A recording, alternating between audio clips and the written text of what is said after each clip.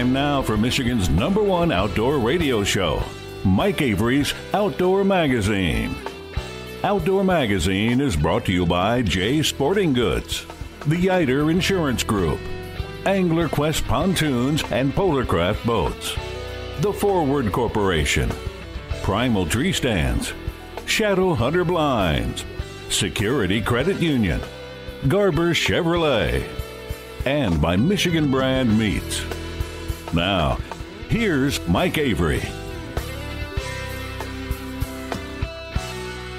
Indeed, this is the big guy, Mike Avery. Thank you, Ken Hunter, for that introduction, and welcome to another edition of the Outdoor Magazine show right here on the Outdoor Magazine Radio Network. Some 30 stations across the great state of Michigan talking about the great outdoors, the history and tradition of the outdoor lifestyle here in the great state of Michigan and occasionally beyond. Uh, and so glad to have you along with us. I hope that by the time you hear this show, it's actually warmed up a little bit, and the and the forecast does call for that because it has indeed been chilly, hasn't it? I know sitting out in the turkey blind or on the water walleye fishing, it's been just a little bit chilly. But hey, uh, it's Mother Nature. She does what she wants when she wants. And I always say that's part of the appeal in my mind of this outdoor lifestyle that I love so much because in our day to day world, most of us have a certain amount of control over what it is that happens. Now, I don't mean in your interactions with other people or your work schedule or whatever, but when it comes right down to it, you, you push a button and something happens, whether it's in a shop or whether it's at a computer. It's, it's more of a, in some cases, a full blown, flat out digital world where you do something and there is a reaction as a result of what you do. When we go outside, when we go outdoors, when we deal with Mother Nature, that goes away. We have no control no input over the weather. We have very little control over how the critters react to us when we're out there, whether we're fishing or hunting. And that's part of what I love. We are in their environment, we are in their world, we're trying to match wits with them. Sometimes we're successful, a lot of times we're not. And isn't that fun? Isn't that a nice break from our day to day world where when we do something, there's a direct reaction? Now, you might get a reaction when you're turkey hunting. Say, if you use the wrong call, you'll get a direct reaction, all right. but not the reaction you want. And again, I love it. I absolutely love it. That's why. That's why I consider it to be such a blessing to be here at this microphone every week because it's something I would be talking about. It's something I do talk about anyway. Whether it's here in the studio, whether it's on the podcast, whether it's online, or whether it's just shooting the breeze, you know, over a cup of coffee with my buddies or family or friends, this this is what I talk about because this is what I relate to. And I know a lot of you listening have the same frame of mind, the frame reference, but I hear constantly from people who say, Avery, I don't hunt or fish. But I listen to the show because I find your topics interesting. And to me, that's the ultimate compliment. If you don't hunt or fish, but you listen to this show, what more could I ask for? Since we've last talked, a couple of interesting things have happened to me. I was able to finally get down on the Detroit River walleye fishing with Lance Valentine. Now, I've got to be careful. I, I'm, I'm used to saying with Lance Valentine of Walleye 101. Well, Lance is easing away from Walleye 101 and he's moving into the teaching fishing because he didn't want to be pigeonholed into the world of walleye, and I get that. So I, this is a trip that we had planned for a couple of weeks ago, and Lance said, "Listen, you can come down if you want, but you're going to catch two or three fish, which is fine with me." But the weather was so rotten that day; it's like, well, why go out there in terrible weather conditions not to catch any fish? He said, "I've got an opening in a couple of weeks. Do you want to take it?" And I said, "Absolutely." And the good thing about this time is uh, my son James was able to join us. Now, Nick Grillo of Michigan Brand Meats and I had been planning this trip. Uh, I asked James the first time around. He had to work. This time he had the day off, so that made it even better. So we get down to the river. uh, Lance had said, "Look, it it's still been pretty tough, but it's getting better." And I will. T- uh, it's it's an interesting discussion, and it's a bigger discussion that I want to get into right now, as far as how that fishery on the river may be changing. It certainly isn't the same fishery this spring that they've seen down there in the past, and there are some thoughts and concerns about. Okay, is this a is this an anomaly or is this the beginning of a trend? Too early to say, of course, on that. But it was um, like in the 50s or so. It was overcast when we got there, but the forecast said it was going to start to rain. And it did. And it rained the entire time we were on the water. And it was just cold enough where it was one of those days where if you didn't have gloves on, if you left your hands out, uh, they did start to ache, started to hurt. So it was it was the weather was iffy, but the fishing was actually pretty good. I think we ended up with 15 fish over the course of three hours. Uh, lost a lot of fish. I think I had probably three or four bites that that wanted to get caught, but I just didn't hook up with them. But it sure was fun to get back into a jigging situation. As much as I love to troll, troll specifically for walleye most of the time there's nothing like having that rod in your hand when a fish hits. Now, if you've if you've never jigged before, it's about the most simple way to fish, the basics of it at least, that there is. You've got a weight on the end of your line with a hook attached to that weight. It's called a jig. It sinks to the bottom. You either put live bait on it or in this case, plastic bait, rubber bait, and you bounce it up and down on the bottom as you drift along with the current. And so the fish usually hit. Sometimes they'll hit on the drop, but you know, it's up and down and up and down and up and down. And it kind of lulls you into this sense of, well, my mind starts to wander. It's like, this is fun, but my mind is wandering somewhere else. And then boom, you go to raise the rod and the fish is there. And it's, it's wonderful. I love it. So we had a wonderful day on the river with Lance. And Lance, I thank you for that uh, very much. And again, a reminder, it's not Walleye 101 anymore because I did a live uh, a thing on Facebook there, and I kept saying Walleye 101. And when we were done, Lance said, "Would you quit saying Walleye 101? Will you say teaching fishing?" I said, "Lance, why didn't you correct me while we were live?" Well, I didn't want to be rude. Well, go ahead and be rude. Let's, let's get it accurate. Let's get this this report accurately. Okay, so that was a lot of fun.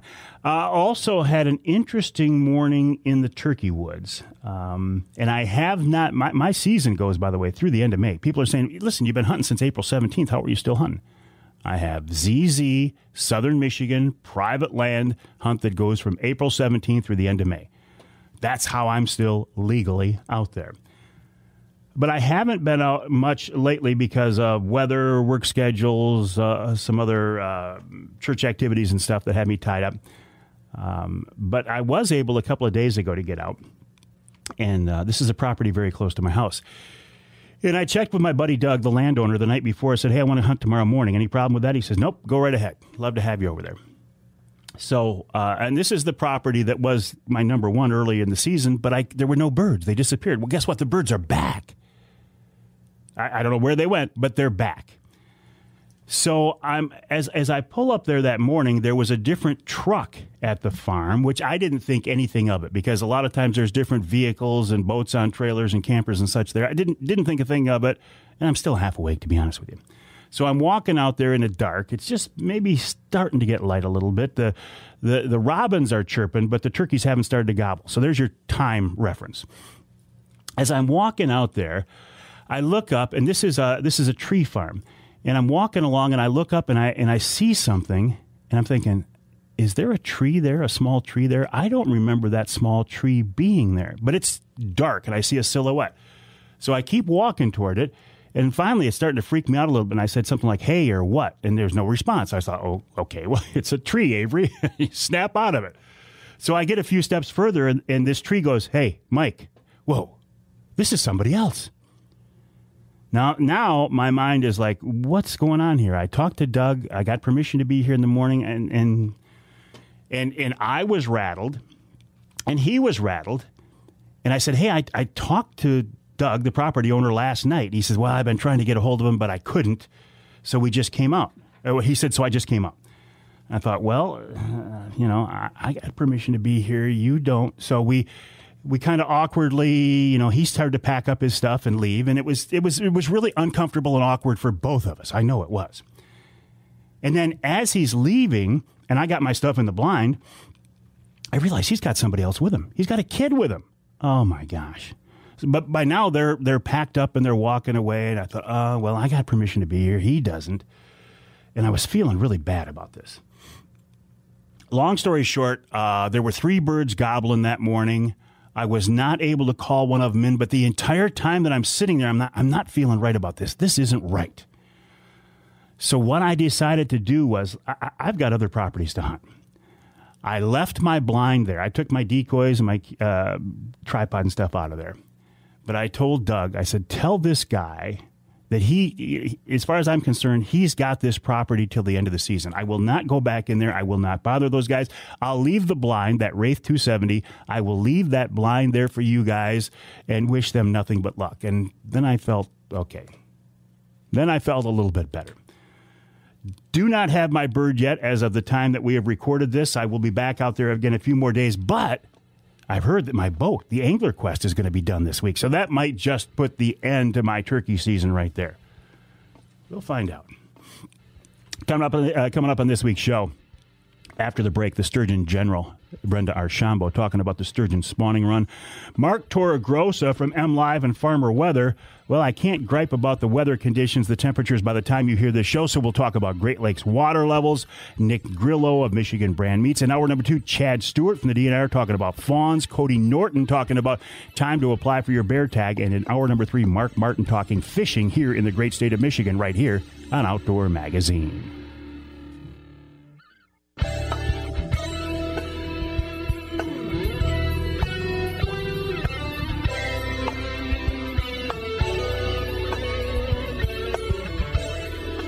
You can hear the Outdoor Magazine show in Traverse City on WTCM. That's 580 AM. You can hear us in Port Huron on WPHM 1380 AM. And north of the bridge in Newberry, WNBY 1450 AM. This segment of Outdoor Magazine is brought to you by Speedy Blaze.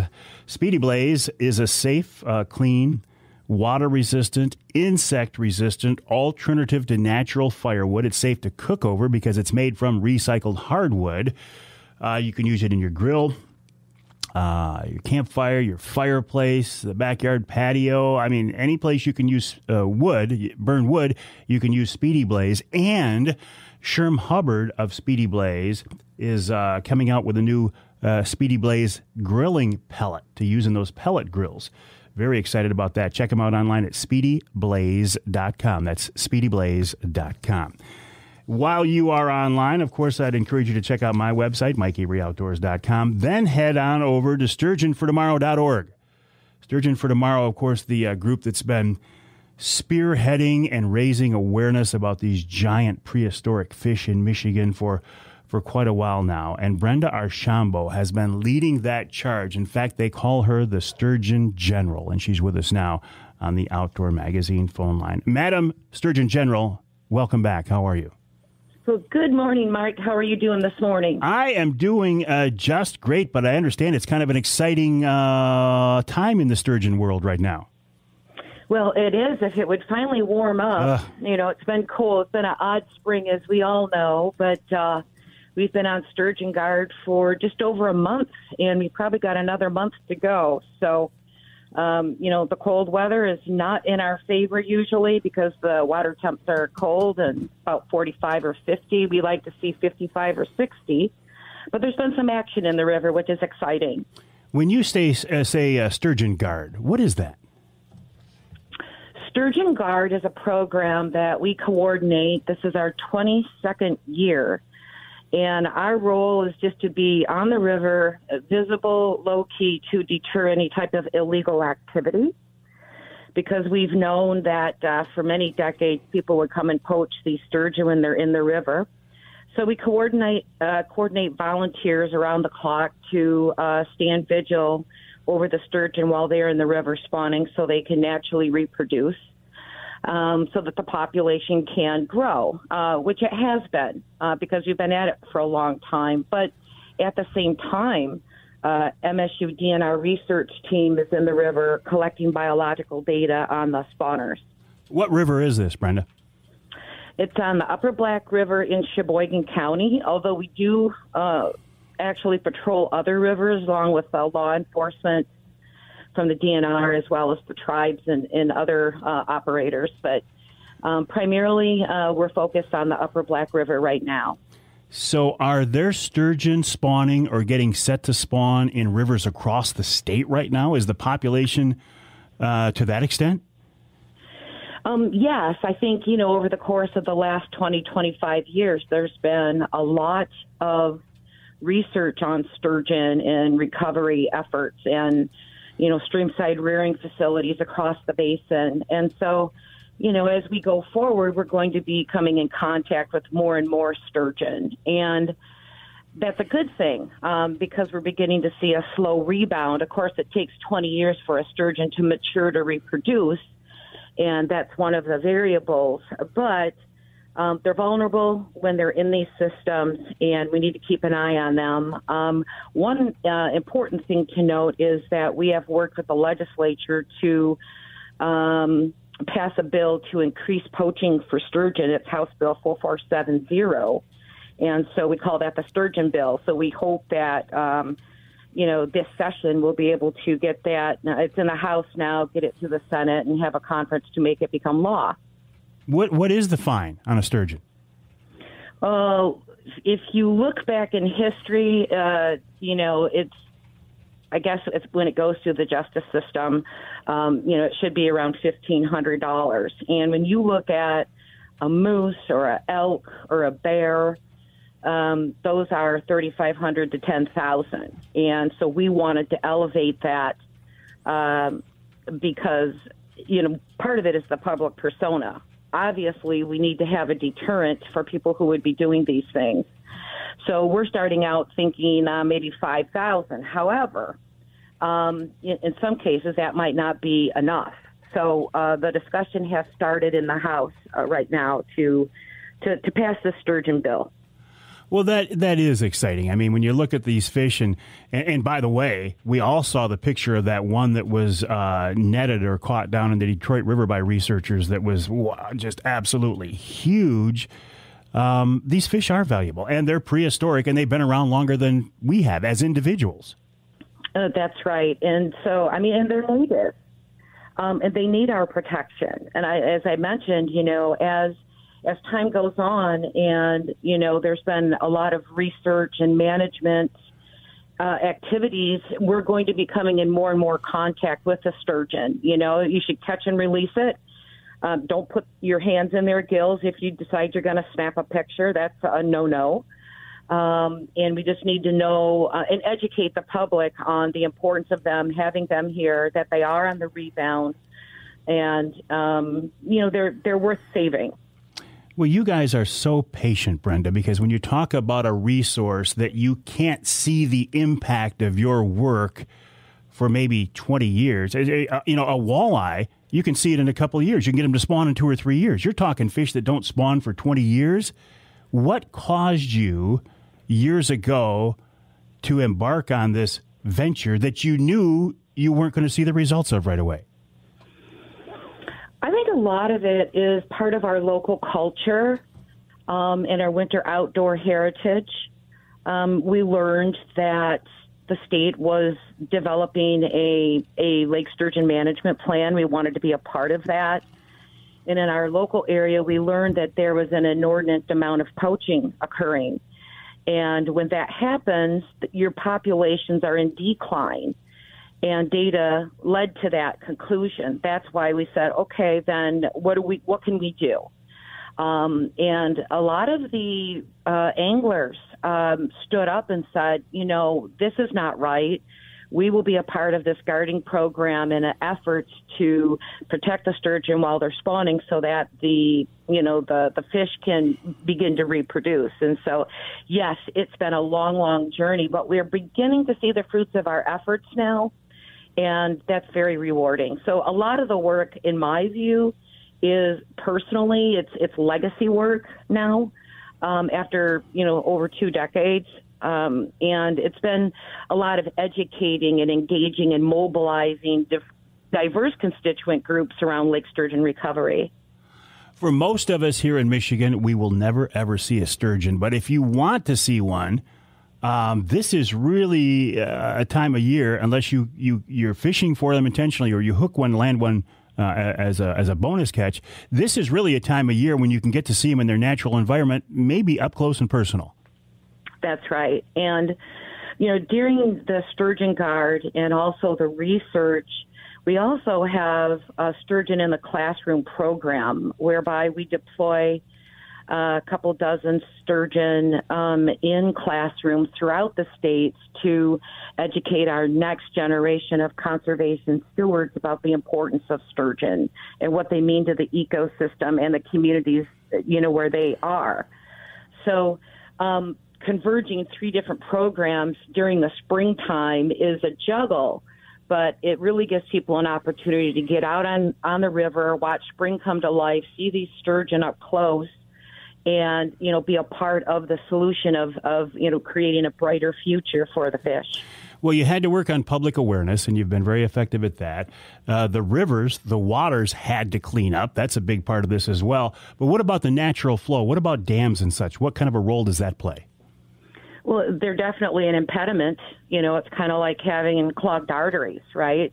If you look at your your your own health, um, you know, if you have clogged arteries, um, that's a problem. And so that's basically what the dams do is they impede passage uh, to historical spawning ground. And what that does is it reduces the available habitat for the sturgeon spawning. How long now? I, I, know you say it's been delayed a little bit because of the cooler than normal spring, if there is such a thing as normal anymore.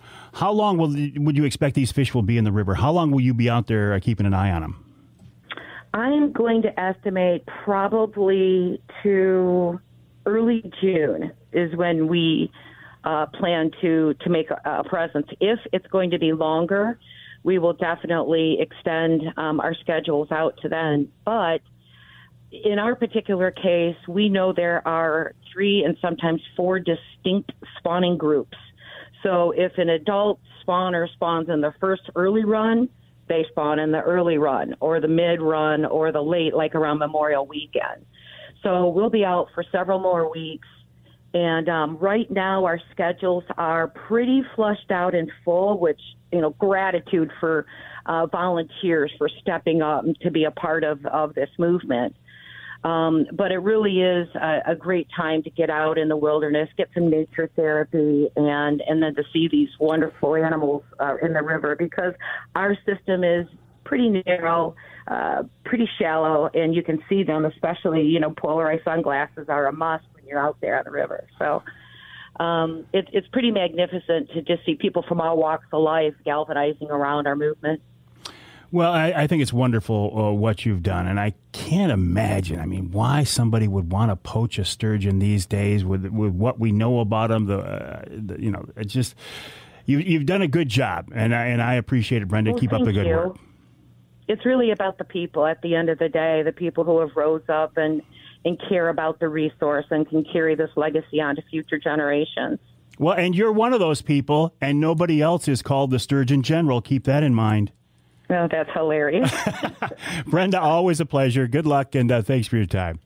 Thank you, Mike. Take care. Uh, you as well. Brenda Archambo, the Sturgeon General. I remember, and it has been 20 years plus. The first time Brenda reached out to me and said, Hey, we've got this idea. And, and, and you know, I'd see her at these little sports shows uh, talking about the sturgeon and, and, and with the displays and such. And, and uh, she hasn't done this by herself. I know this. She knows this. She's had an awful lot of help, but it's been her her drive, her guidance, uh, her impetus that is that has put. Uh, uh, like there's a sturgeon group down in uh, Kalamazoo County on the Kalamazoo River now. St. Clair River, Jim Felgenauer has been very active down there. Um, it, it's a really it's a great conservation success story. So congrats to everybody involved in the Sturgeon for Tomorrow program. We'll take a break here in the Outdoor Magazine show. When we come back, let's talk about the, the Great Lakes water levels and how much they've dropped and how and why with Mark Toro Torregrossa right here on Outdoor Magazine.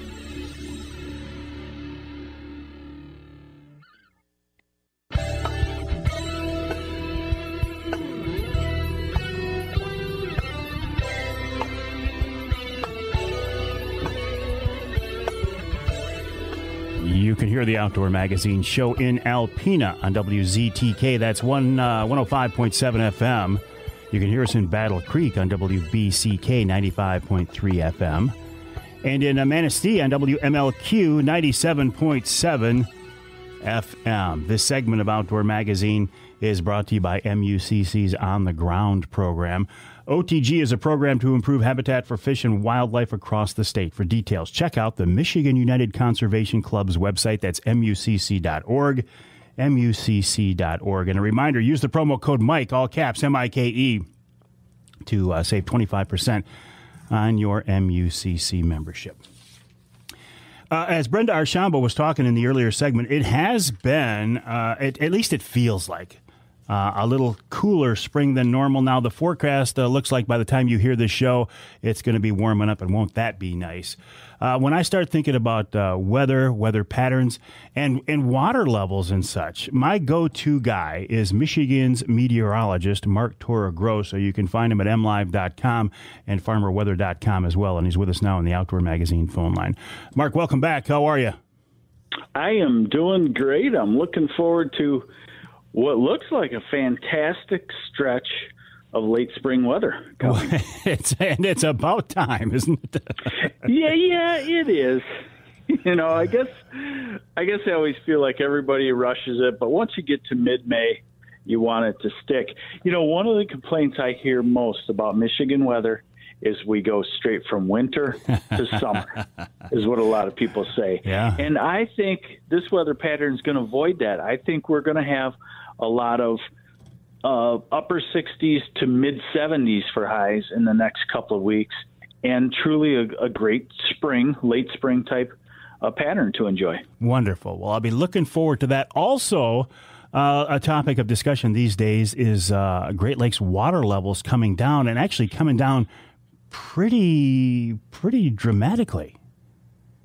Yes, um, we will not have to worry about record high levels again um, this year. Uh, the like, for example, Lake Michigan and Lake Huron, they're about 17 inches lower than this time last year. Wow! And I got out the calculator and did some math. One inch of water on Lake Michigan and Lake Huron is 800 billion gallons of water. 17 inches was something like 14 trillion gallons of water, less water now in the lakes than this time last year. That is absolutely amazing. Yes. You know, and I'd like to figure it out someday, but I did some simple math one day, and not saying there might have been a, a couple of beers involved with this, but it's almost enough fresh water to uh, have the world drink for years world. So the questions are how does it come down so fast? Where did that water go? And is this a trend that's going to continue, you think?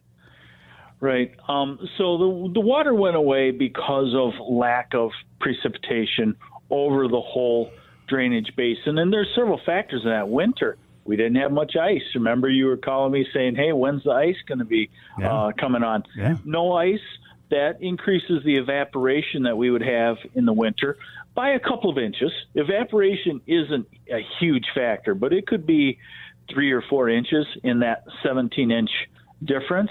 Um, we had a very dry winter, one of the driest, you know, so that can be another four or five inches. And we're going into spring very dry also. So uh, it's it generally can be uh, mathematically accounted for by lack of precipitation over a drainage basin. Now, for example, um, in in April, Lake Superior's drainage basin. You know, there's an area that drains into Lake Superior, and there's an area that drains into Michigan, Huron, and an area into Erie and Ontario. Um, Lake Superior's drainage basin had 125% of its precipitation, of its normal precipitation in April, and Lake Superior went up some, went up about four inches. Lake Michigan went up one inch in a, you know, from April to May to now, and that's about uh, two to three inches less than what would nor- what it would normally go up. So even though the lakes are inching up now in their seasonal incline, seasonal increase, they're not inching up as much as they normally would be because we're dry. We're moderate drought. I've had farmers talk to me. You know, they dig they dig trenches and put tile in their the ground to drain water off, and they're saying uh, some farmers that have been farming for 30, 40 years, they're digging down three feet, and it's just powder hmm. down there, driest they've seen it ever. Um, the trend in these uh, Great Lakes uh, water levels, uh, can, can you give us a feel for that? Well, I mean, I think it goes with what we get for summer weather, and uh, you know, if if it stays dry, they will uh, trend downward.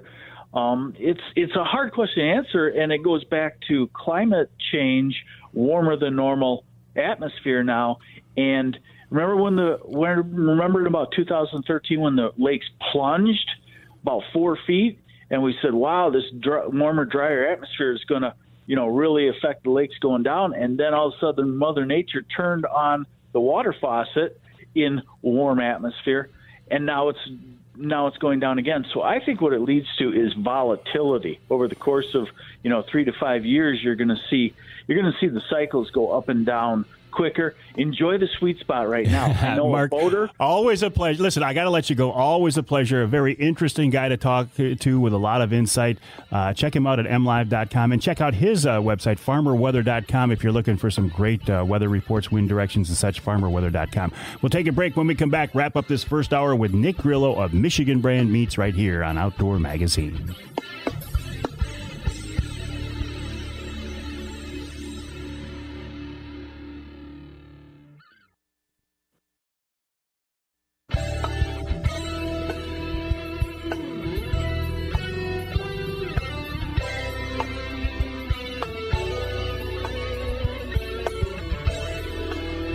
Welcome back to Outdoor Magazine. You can hear the show in Caro on two stations WKYO 1360 AM and WIDL 92.1 FM.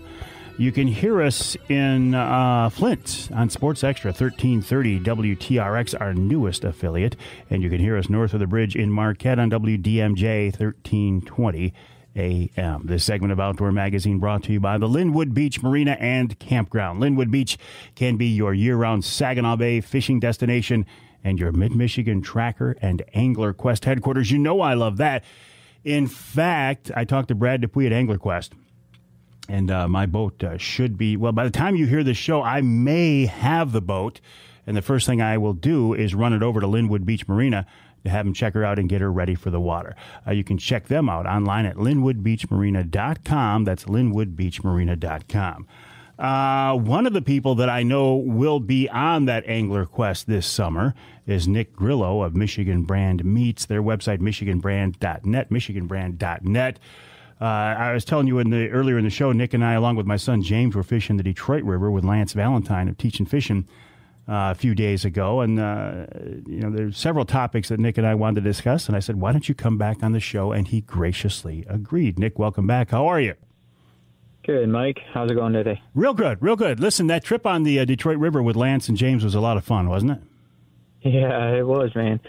Yeah, I mean that conditions, you know, that was pretty tough with that wet, cold rain, but heck, when you're pulling up walleyes, you know, every drift we were pulling two to three walleyes, so you can't complain with that at all. Can't complain. I actually got some nice ones too. I think you caught a big one, if I remember right.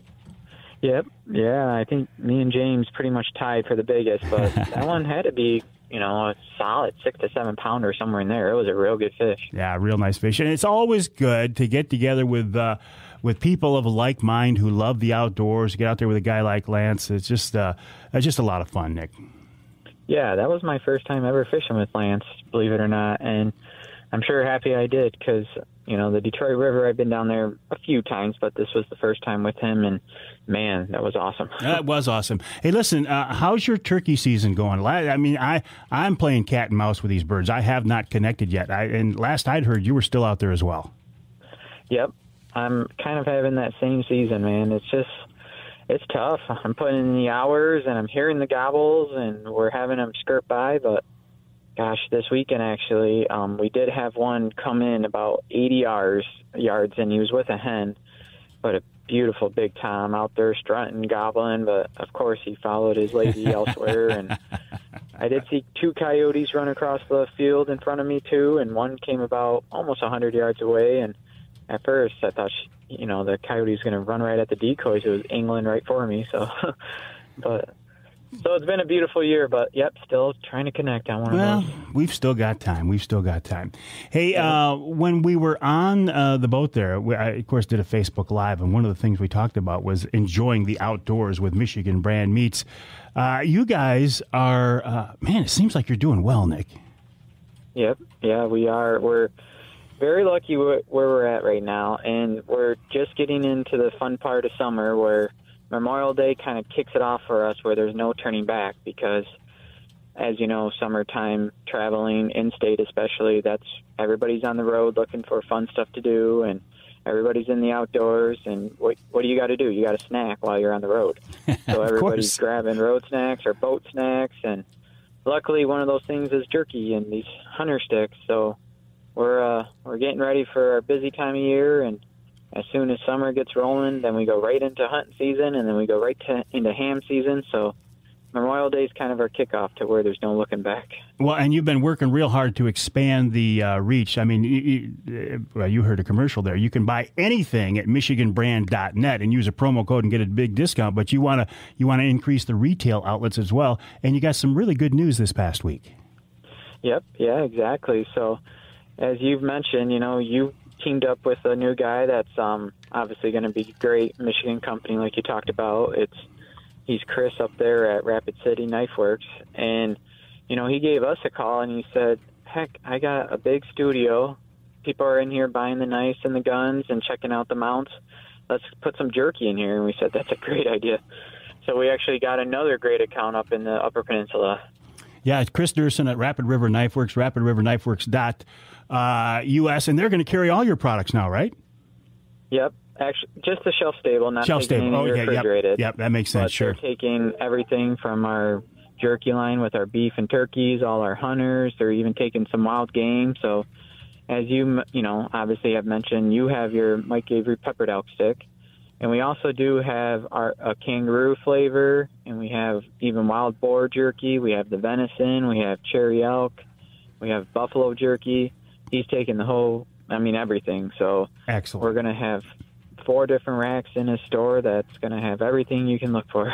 Excellent. So you can stop awesome. by uh, Rapid River Knife Works, uh, check out the buy a knife, check out the uh, showroom and all the Michigan brand products as well. And again, Nick, michiganbrand.net, michiganbrand.net. Use the promo code. What's the, what's my promo code? It is Mike twenty one. Mike twenty one to save twenty percent on anything, and you guys will ship it right to their door. Yep, exactly. Yeah, we've done a lot of that the last month, and it's only picking up. And yep, we've shipped to Florida, we shipped to Texas, a few people down there, Oklahoma. I mean, we've shipped quite a few out of state, but obviously in in state's doing real good too. Excellent. MichiganBrand.net is the website, MichiganBrand.net. Uh, always a pleasure to, uh, to get together with Nick Grillo and the uh, Grillo family. Uh, great uh, business partners and great friends as well. We'll take a break here for the top of the hour. When we come back, we're going to talk about the whitetail fawning season. I'm seeing some fawn pictures with Chad Stewart. Cody Norton reminds us now is the time to apply for your bear tag. And then this week's Ask Avery segment in hour two of Outdoor Magazine.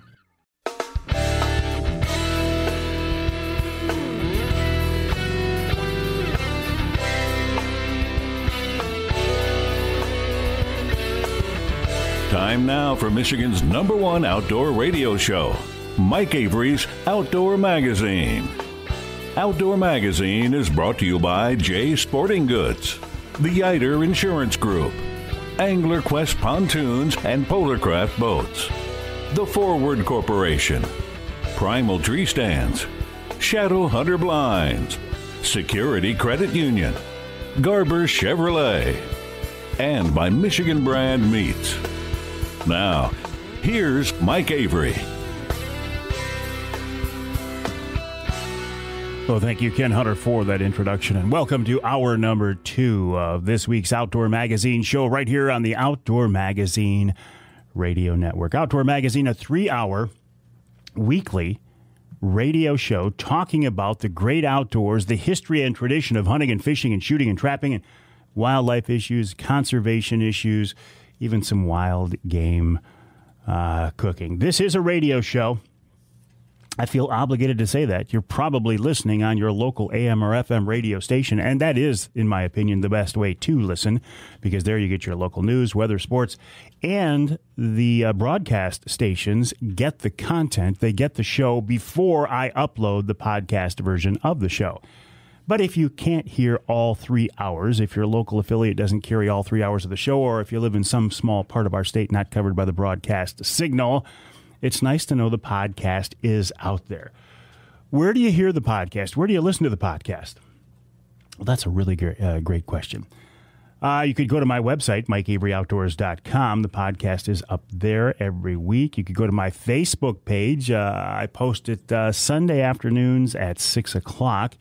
We're also on Amazon Music now on Audible as well. I love Audible. I listen to all kinds of audio books on Audible, so it's nice to have the podcast version of Outdoor Magazine Radio on Audible as well.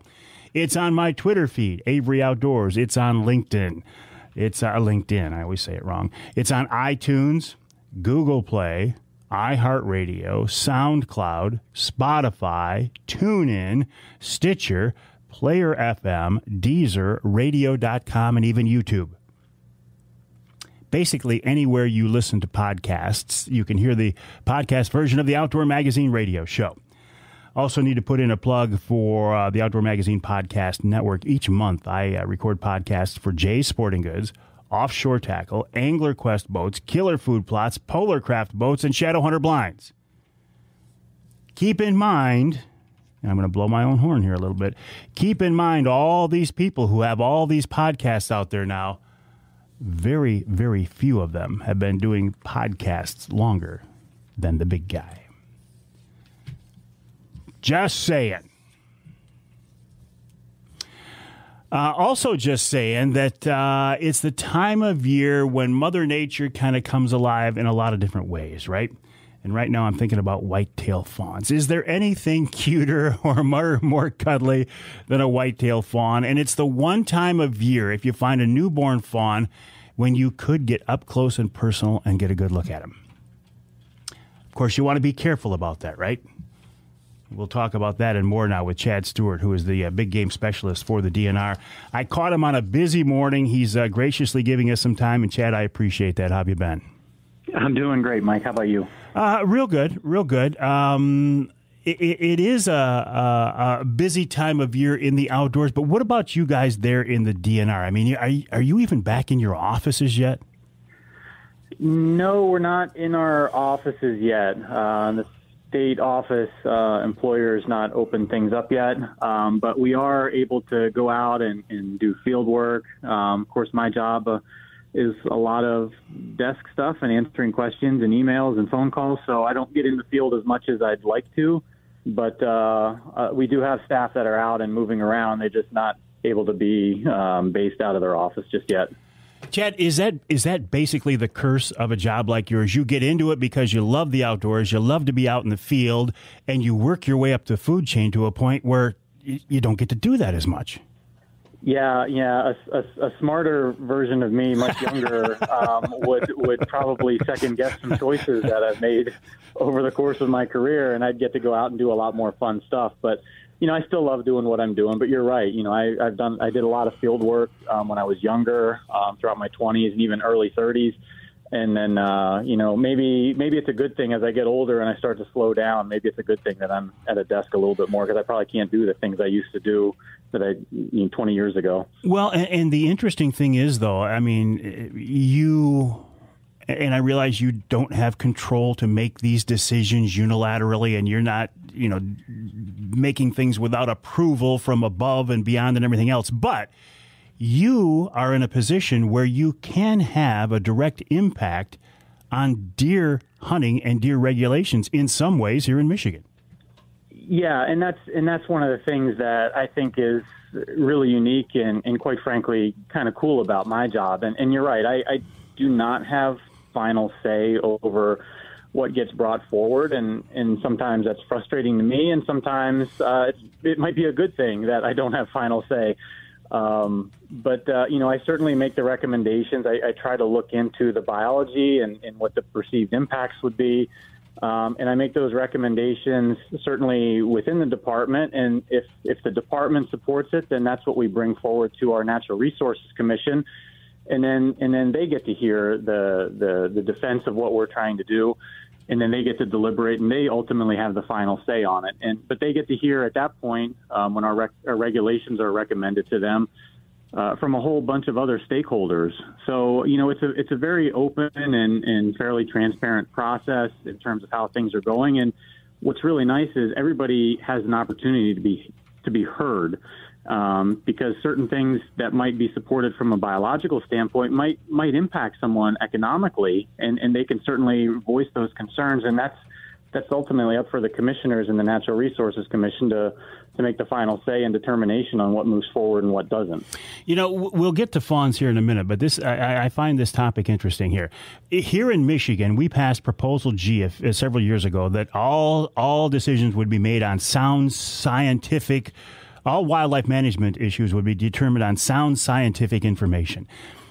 Is is social science is that a science that is taken into account on these decisions?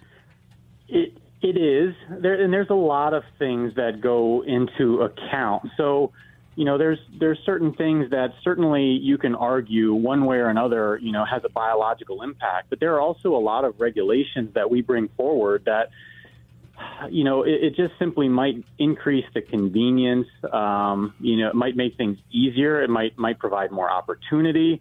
Um, and it might not necessarily impact the herd biologically. It doesn't mean it's going to hurt the herd biologically. It's just it makes it might make it easier for hunters. And, and certainly as our hunter numbers continue to decline, we know our deer population is, is going to continue in, in most of the state to, to grow based on the reproductive potential. You know, we've we've sort of shifted in recent years towards making things a lot easier. Um, and we hope that that has a biological impact uh, long term for the for the better. But even if it doesn't, it's not going to hurt the herd. But there's still a lot of things out there that people like or don't like, and, and they have a lot of preferences and they have a lot of say. And some of those choices might actually impact uh, whether it's a, an outdoor retailer or, uh, or or the way somebody hunts. You know, where where they you know, we, we've tried not to be more restrictive. We've tried to be more open with things and opening things up. But there are certainly still preferences, and, and I think our commission weighs weighs a lot of that information uh, as well, especially in some of those biologically neutral um, recommendations that are coming forward. Any significant proposed changes for the fall?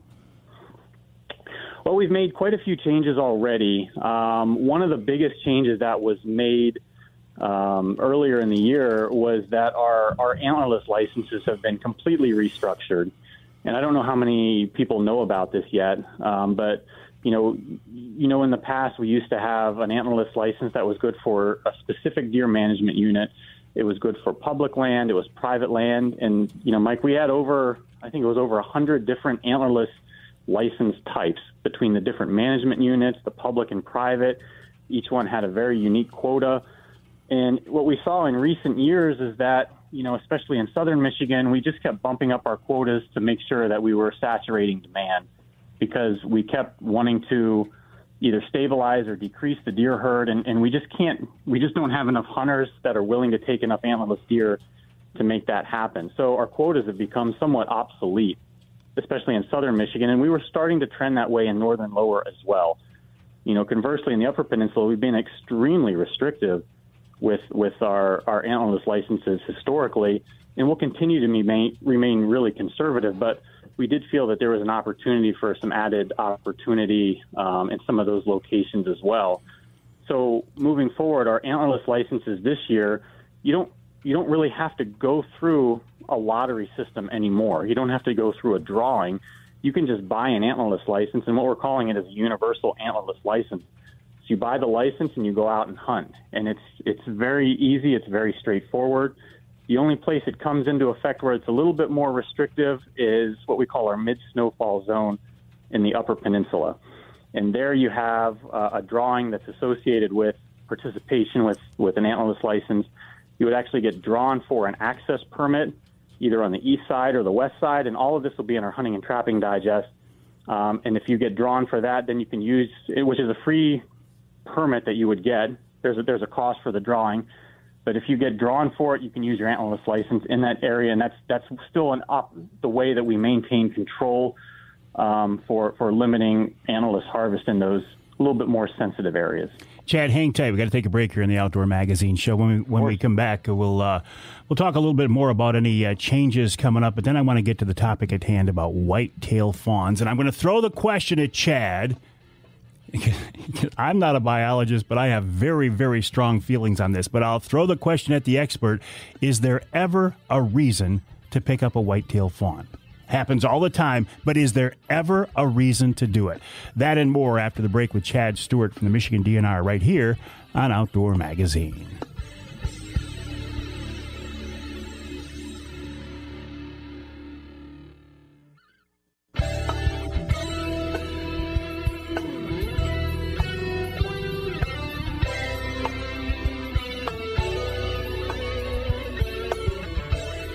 Here, you can hear the Outdoor Magazine show in Cheboygan on Big Country Gold, WCBY, AM and FM, 1240 AM, 100.7 FM.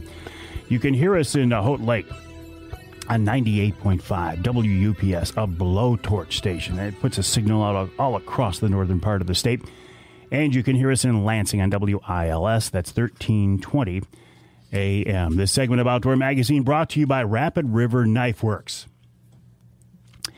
you need a knife. There's a good chance that you've got a knife in your pocket right now. I do, and I, I reach for it several times a day. Uh, even outside of hunting or fishing situations, right? I mean, a knife is just an everyday tool that so many of us use so often. So, why not use a Michigan made knife? A handmade, even custom made if you want it, a knife from Rapid River Knife Works. Check them out online at rapidriverknifeworks.us, at rapidriverknifeworks.us. Um, I, I'm really excited to be working with Chris Durson and really excited to uh, to actually get my hands on one of those Rapid River knives. I, they've got them at Jay's. I've walked by the counter many times and been tempted to buy one. Well, now I am going to get my hands on one. RapidRiverKnifeWorks.us. Uh, we're talking now with uh, DNR wildlife biologist Chad Stewart. Excuse me, Chad Stewart, Michigan.gov slash DNR. Chad, before the break, uh, you mentioned about changes in doe tags. Anything else coming up for the fall season we should be aware of? Yeah, we've got a couple regulations coming up at the uh, proposals uh, at the May Commission meeting. Uh, one is just a technical change. Um, we, uh, you know, that last year we allowed all legal firearms to be used during the muzzleloader season in Zone Three.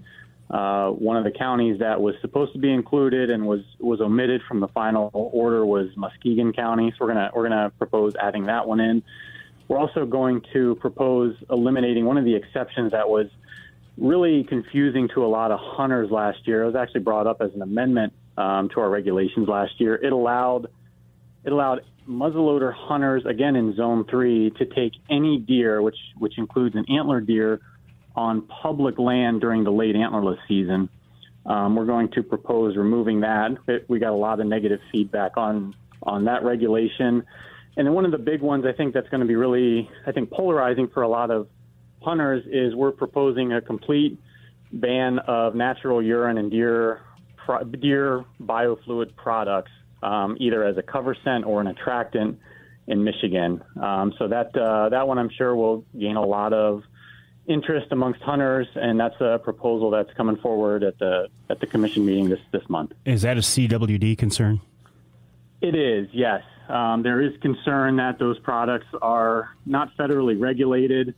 Um, there has been prions detected in um, in urine, albeit at, at lower concentrations and that uh, there's there's concern from the department standpoint about introduction of those pathogens into um, the environment where it can be potentially taken up by by white white-tailed deer, which would which would establish uh, a potential outbreak. So there's there are concerns um, based on CWD for for that reasoning to to prohibit the use of those natural products. Ah, see, I was thinking it was just going back to the uh, the concern like with baiting, just that it, it it, it might attract animals into a given area, but you're actually concerned about the product itself.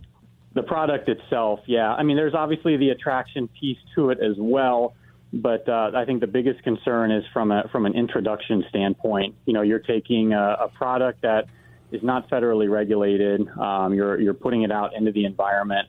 Um, you, you, urine itself is very low on the, the scale of infectivity in terms of other biofluids, but in a lot of cases, that urine, when it's processed, is mixed with things like saliva and, and even even fecal matter. So some of that goes into the product itself, and, and obviously there's that's at a higher concentration than urine. So there there is concern about that. A lot of states have been trending that way. Um, in the past, what we've done is we we defaulted to this Archery and Trade Association's deer protection permit um, program, which basically had a higher um, security level. Basically, it ensured those those facilities that had higher thresholds for uh, higher safety measures were, were the products could be used. And, and they are doing away with that that program, um, so we don't have that safety net to fall back on this year. Yeah, the whole ATA thing. Once they basically lost their trade show, I think they've lost their status in the industry. So I don't blame you there. Mm. Hey, listen, uh, uh, you, you said something, and I know we haven't even got got the fawns yet, but you said something that got my attention. You said, you know, there was there was uh, I don't remember the wording, but you know, there was concern or there were complaints or or people were talking about it, and you listened. Now, see, a lot of people think the DNR does not listen to what their constituents say. So I find that interesting.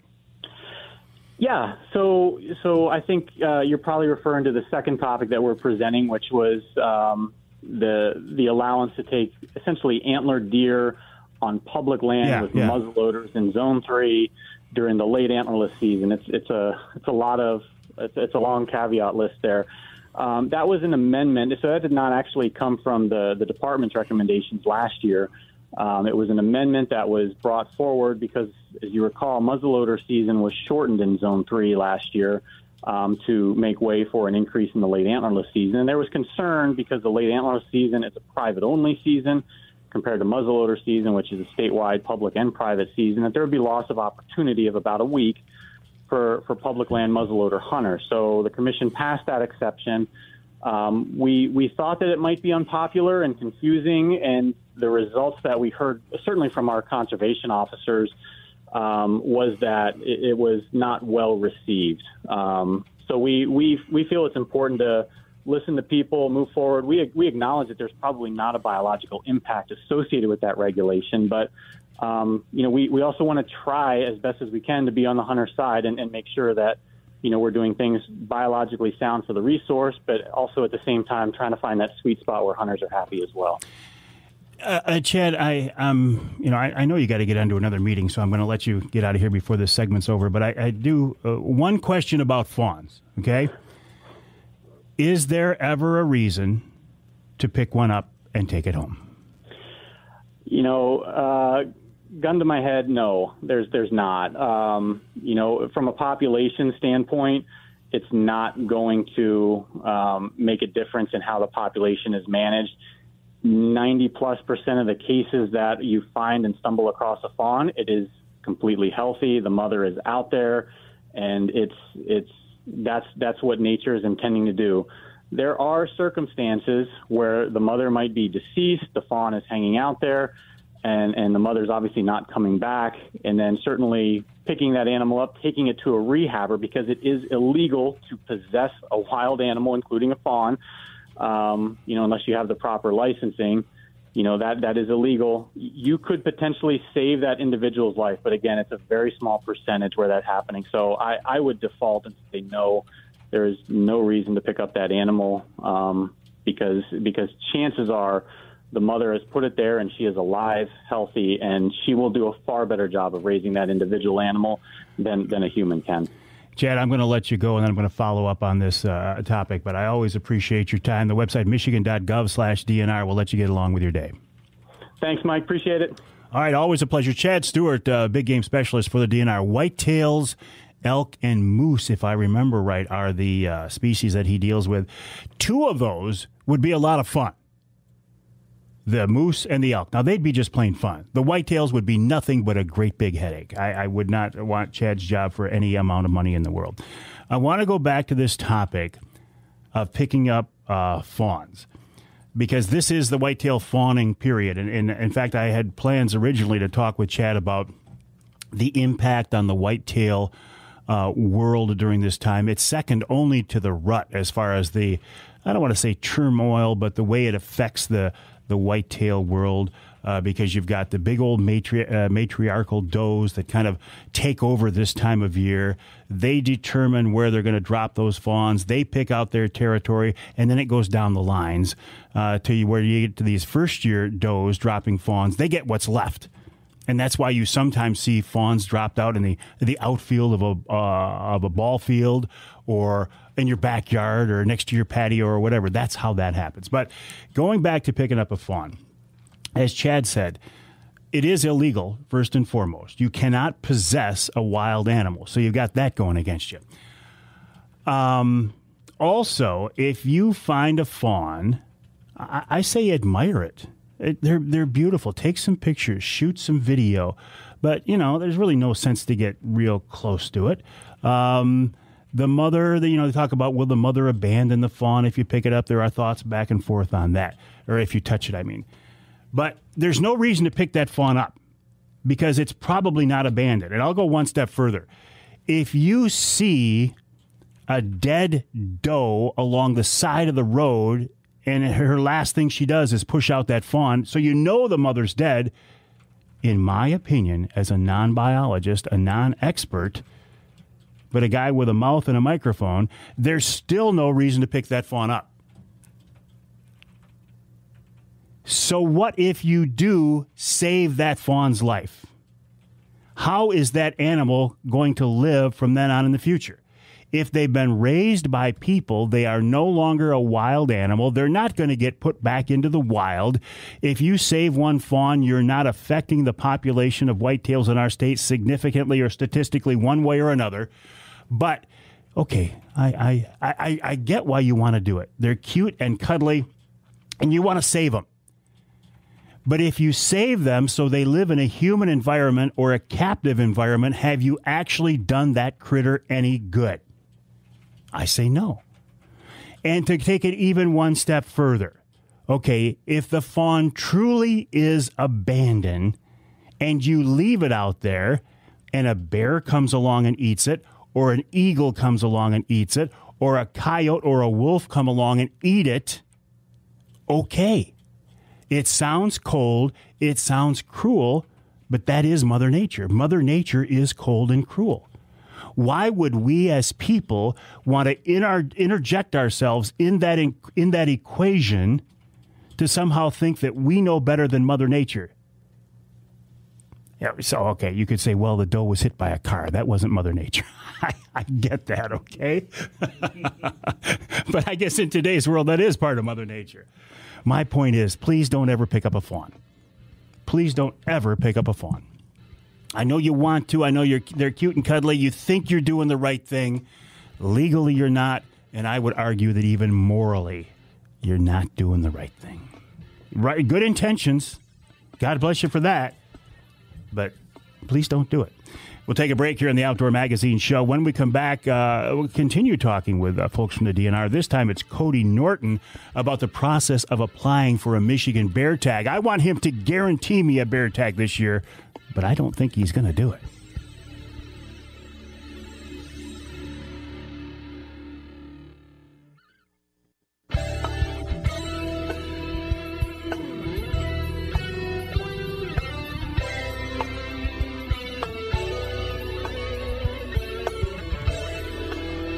You can hear the Outdoor Magazine show in Houghton Lake on the Twister 92.1 WTWS, and you can hear us in Holland on two stations, WHTC 1450 AM and WHTC 99.7 FM. This segment of Outdoor Magazine is brought to you by Bohning Archery.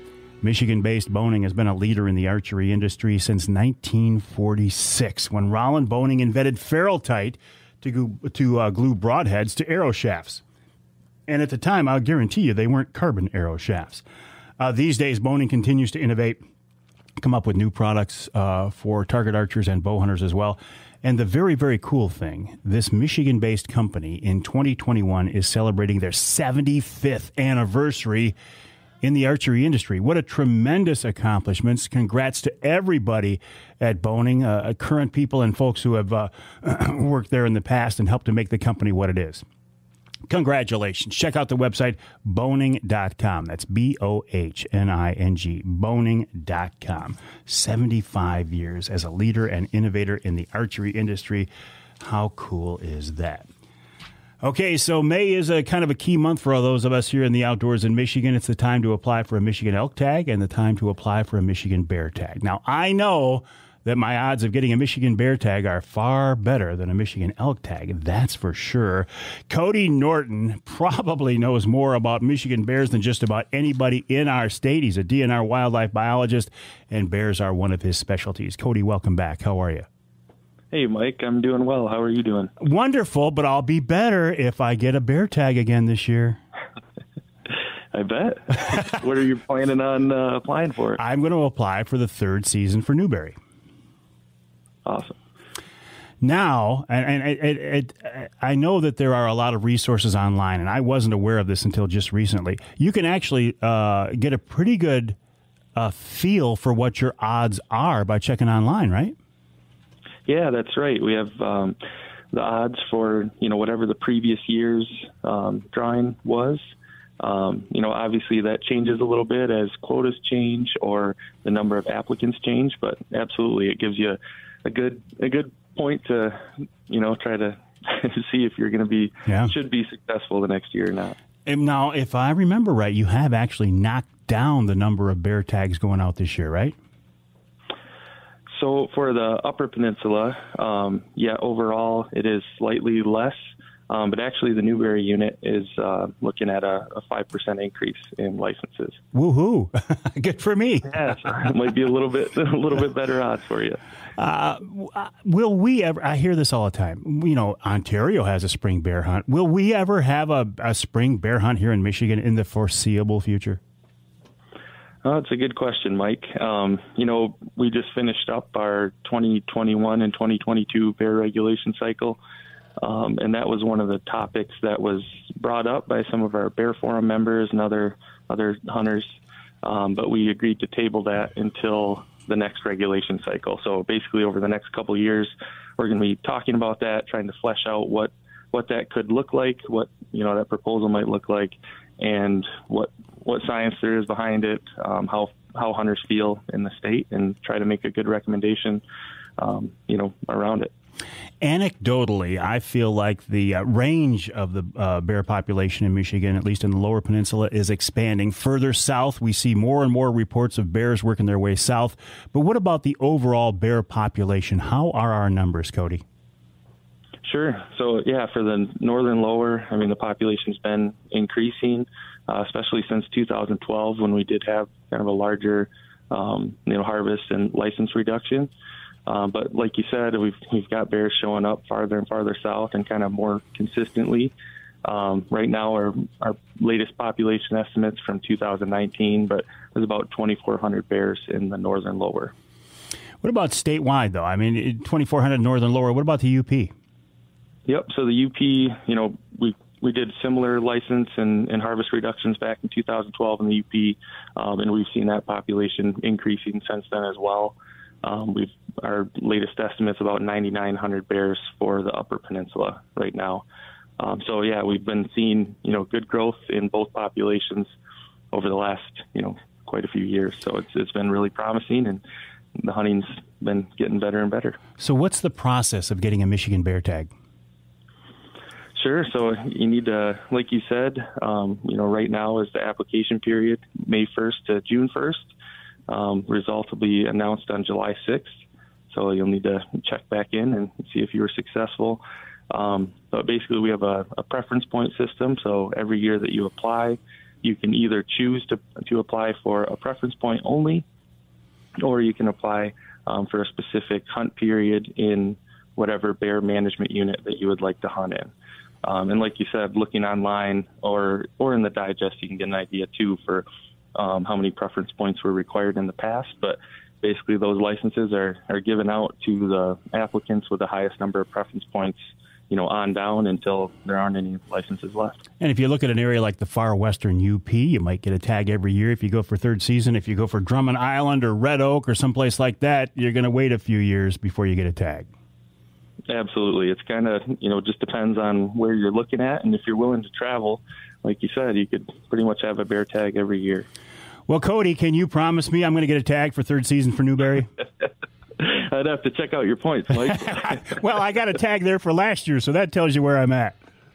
Sure, sure. That, that might be a little tough for you, but I'm going to try. I'm going to try. All right, Cody, appreciate your time. Cody Norton from the uh, DNRMichigan.gov slash DNR. Cody's not optimistic. I am cautiously optimistic. I figure my odds are about 50 50, though I have not officially checked online yet.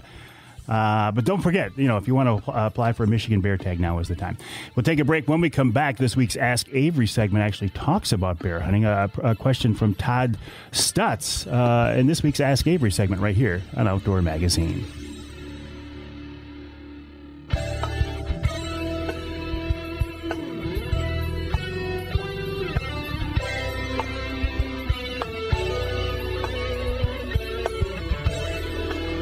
You can hear the Outdoor Magazine show in Tawas on WIOS, AM and FM, 1480 AM, 106.9 FM. And you can hear us in uh, St. Joe on WSJM, 94.9 FM. The uh, Ask Avery segment is brought to you each week by my friends from Security Credit Union. Security Credit Union loves to work with outdoorsmen and women, and they can help you with your next outdoor adventure. Check them out online at securitycu.org. That's securitycu.org. The way the Ask Avery segment works is uh, this is your chance to uh, be directly involved in the content of the show. You can send me a question, uh, something that you would like me to uh, answer directly, or uh, the, pass along to somebody else. For example, if you had a question about uh, getting a bear license, you know, we would we would direct it to somebody in the DNR, like Cody Norton. Um, this week, and by the way, the, the probably the best way to get these questions to me is to send me an email, mike at mikeaveryoutdoors.com. That's mike at mikeaveryoutdoors.com.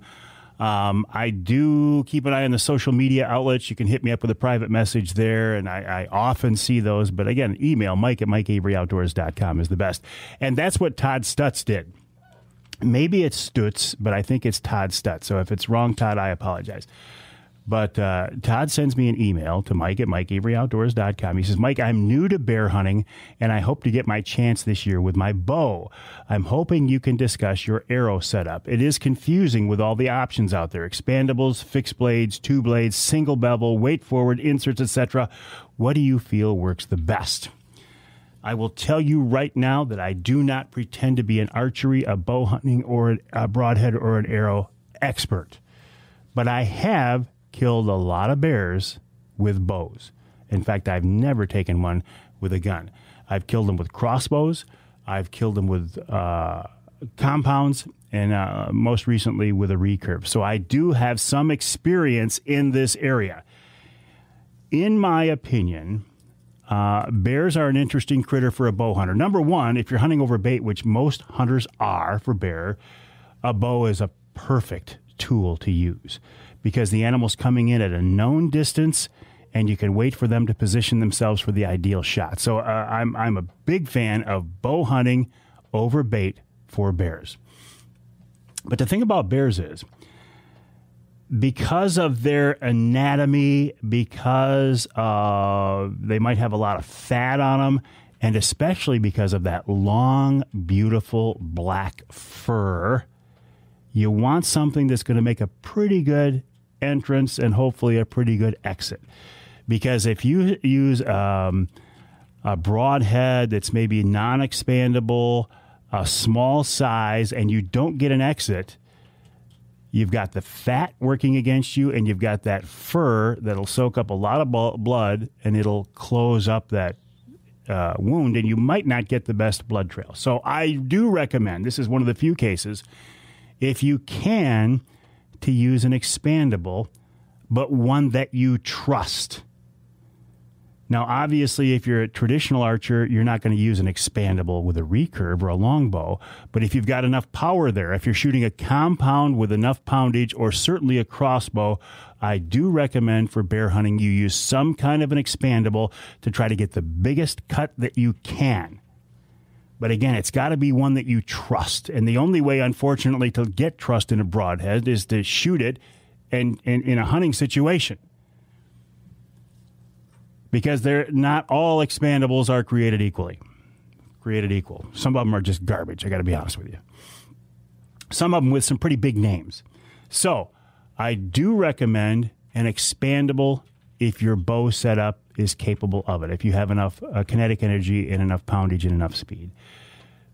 In cases where you don't, like with the, my last bow kill with a recurve, a fixed blade is the only way to go. But again, the biggest biggest blade that you can. And for goodness sake, you want a cut on contact blade. You don't want one, in my opinion, with a chisel point because you got to push that chisel point through that hide of that animal. I like a cut on contact, a really good, sharp blade, I think is the way to go. The heaviest setup that you can go as far as uh, the weight of the broadhead and the, and the arrow for the best kinetic energy. And, and, and it all comes down to shot placement shot play. You can take a, a, a marginal broadhead with good shot placement and take an animal down. Where if you have a big, very effective expandable and you hit them in the wrong spot, you might not recover it. So it comes down to shot placement. And finally, even though I've never taken a deer with a gun or a bear with a gun, I do see this happen a lot. People will come into a, a bear camp and they'll bring a, uh, you know, a seven millimeter mag or some big high powered fast shooting rifle and they're hunting at bait, you know, 30, 40 yards away.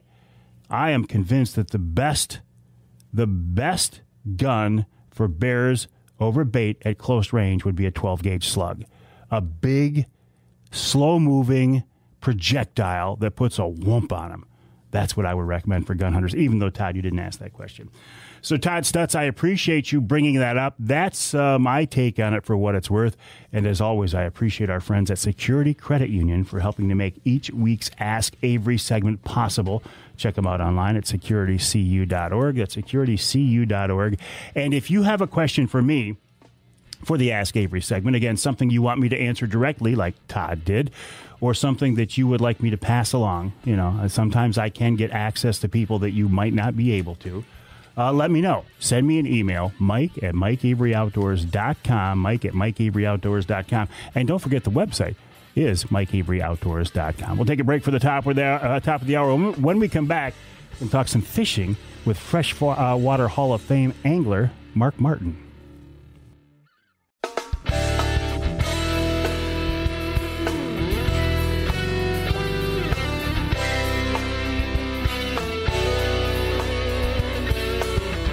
Time now for Michigan's number one outdoor radio show, Mike Avery's Outdoor Magazine.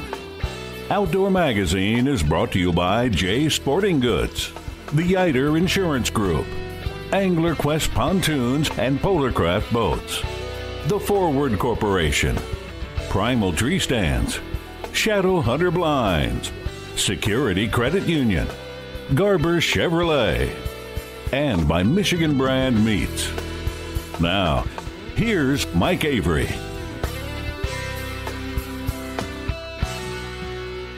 Oh, thank you, Ken Hunter, for that introduction, and welcome to another edition of the Outdoor Magazine Show. Here, Pat, take a look at that. Something we were talking about a minute ago.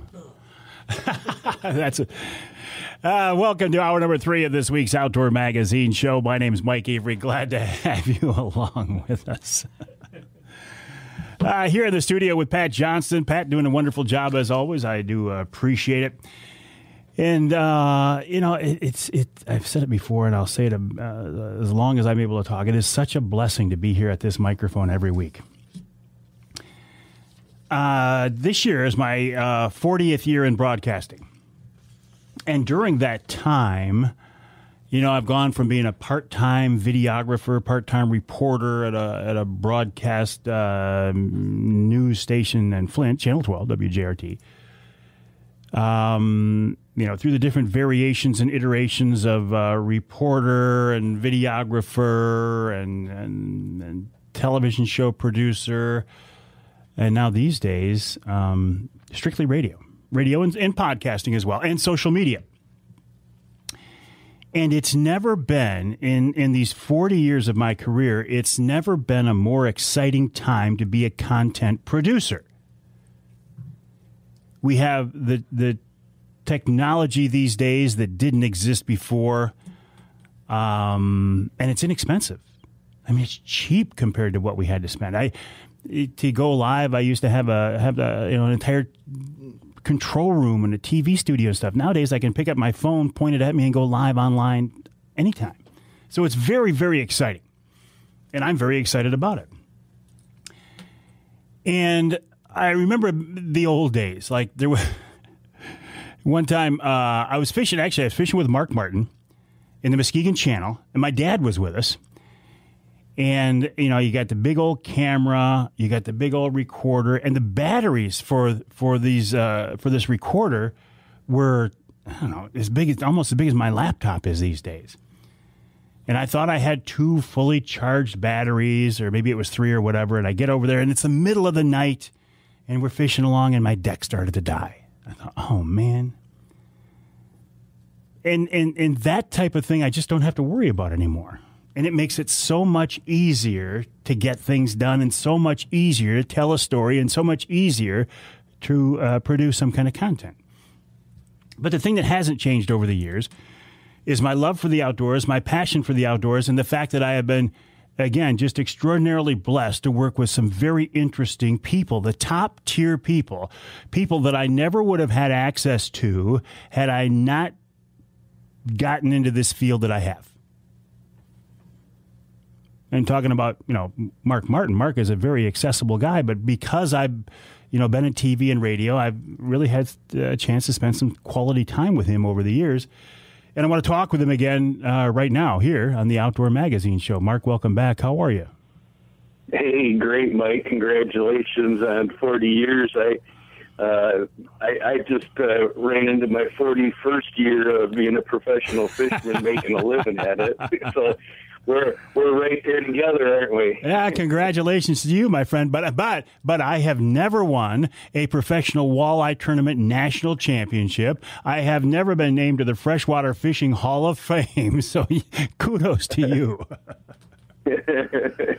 well, you're on your way to some Hall of Fame that they have for uh, I'm sure you are, and I'll, I'll endorse you when that time comes.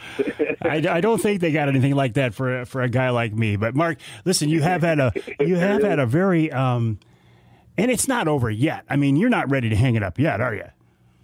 No, no. I I, I want to teach. You know, I I've uh, kind of. Um, you know, just the teaching is going to be the thing that you know keeps me going because I find greater joy in that because I get a lot of return I value. You know, people give me kudos of oh, now I can go out and do it. I feel confident, and whether it's ice fishing or open water, or they they're on their own boat catching more fish after you teach them how to use their own boat. I mean, that, that's the kind of thing that um, you know, the satisfaction. It feels like you win a tournament every time you get done with one of those schools, and you got a whole bunch of people like you know wanting to raise you up because they come in with one accept you know expectation, and they leave totally. Uh, way above that expectation, you know, and that's what I get, you know. So that's what I'm going to keep doing is teaching, and uh, you know the other stuff in in writing and stuff like that. Uh, but uh, the rest of it, uh, you know, I, you know, as far as tournaments, I, I might just back off from it a little bit and just kind of, um, you know, concentrate on schools. Yeah, I mean, really, at this point, Mark, you have nothing to prove. I remember back when this whole professional walleye trail started and there were a handful of guys who were helping to form what this was going to be, and you were one of them. And people would say, "Yeah, that Mark Martin guy, he's a good stick, but he's a good stick at night trolling for walleye in a specific area." And they discounted your talent and ability. And that same year, you went along, you went on to kick their rear ends and win that prof- that first professional Walleye National Championship. And that really kind of set the stage, didn't it? Oh, it did. You know, I mean, it, I mean, I I can remember that the whole time, every day of practice and every day of the tournament, like it was yesterday. You know, and I can remember a lot of them too. You know, it, and uh, it's those things like that that I really got to say that propelled me right there. And just as you uh, said right there, you know, people had their doubts about me if I could catch fish in the daytime. Well, that I think took the, all the doubts right away. And even though I could have been catching fish out on Muskegon Lake and in other places during the day, I knew it was more exceptional to be catching walleyes at night because the size was impressive. So I stuck with the size over just fish. Well, and in those early days, you were fishing at night because you also had a full time job during the day. Right, right, exactly. So yeah, I, I for nine years I would go go to work at uh, you know uh, three, be there by three, and get out at 11, meet my customers across the street basically at midnight, and fish till six, seven o'clock in the morning, go to bed, do it all over again. I mean, just keep, uh, con- you know, and it's like, I couldn't even imagine doing that now. I mean, I can, but I wouldn't be around for very long. and, and I remember. Oh, well, yeah, and I remember stories you telling me about your granddad when he was exploring Muskegon Lake. He he would uh, drag a chain over the side to get his depth, oh, and, yeah. and, and and and I think you guys were rowing by hand in the early days to get your speed to get your Yep. trolling, weren't you? Right, right. You know, that was the depth finder was that that chain on a on a on a rope too. As uh, you know, you, you could tell when it was touching bottom and not touching bottom because you're going so slow. And he had a heavy logging chain. And the other thing that he took, you know, great pride in because there's hardly people fishing back then. You know, tying bleach bottles on 15 foot of cord and put a brick, a rock, a piece of link of chain, whatever. And we'd, when the wind was blowing into the shoreline, he'd drop them out deeper and let them drift in. To, and when they hung up there 15 feet, so you knew how much line to let out on these level wind reels that my grandpa had. You know, how many passes back and forth. It didn't have counters. And so you knew if you were on this side of the jug, how much line to let out on this side of the jug. And you constantly had to have, so, you know, I mean, you could see the jugs because they weren't, they're white for one thing. So you could, mm-hmm. you know, see them, they reflect whatever light there was, your eyes adjusted. And if you couldn't, you had a good flashlight you'd just put up in front. But pretty soon you did it night after night. You didn't, almost didn't need to see the jugs. You just kind of, you know, seeing where you were on the lake and what you had to do, and you were within reason most of the time. Yeah, I remember counting passes on reels, and the question was: Is a pass once from left to right, or is it from left to right and back to left? There was always that question in my mind. Right, right. Yeah, and if one guy counted it one day one way and you were counting the other, you were off quite a bit on your depth. Oh yeah, if they're counting not a full pass back and forth as one or just one pass across. Yep. Yeah. it- Oh, and I've never said this to anybody until right now. You know, I, I mean, it passes because I know my grandpa.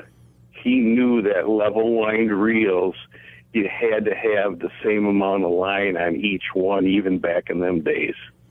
And now that's something we. calibrated for him. yeah. I never said that before because you know it's just something that it blew past my mind all this time, and you just for some reason you pulled it out of my mind right now. So he calibrated his reels before there was even line counters on them, so that because he didn't want to lose his lures. See, Mark, that's what I'm here for to pull this these these bits of wisdom out of your mind, and we'll do that after the break. But first, we've got to take a break here on the Outdoor Magazine Show. We're talking with Mark Martin. You know Mark, Michigan's Mr. Walleye. He's been around the fishing scene here forever. The website markmartins.net, markmartins.net. Also, uh, Fishing Vacation School, I think, is another one. We'll talk with him about that and more. And, and right now, as we're talking, he's in the Keweenaw He spends a lot of time in the Keweenaw. I want to talk with him about why he loves that part of the state and how the fishing is and how he can help you catch more fish as you head to the water. That's after the break right here on Outdoor Magazine.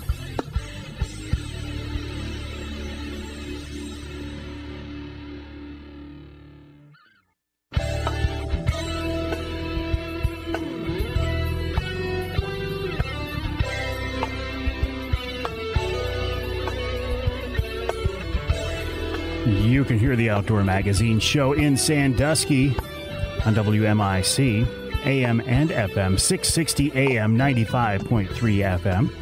And you can hear us north of the bridge in the Soo on ESPN 1400 WKNW. This segment of Outdoor Magazine brought to you by Wilds Plumbing and Heating from plumbing, heating, air conditioning, ductwork cleaning, sump pumps. What else? I mean, anything to keep the uh, mechanicals, the the uh, the mechanics of your house running smoothly, reliably, efficiently. The folks from Wilds can help you out. Check them out online at wildsplumbingandheating.com. That's wildsplumbingandheating.com. I think we're going to have the guys from Wilds come back over.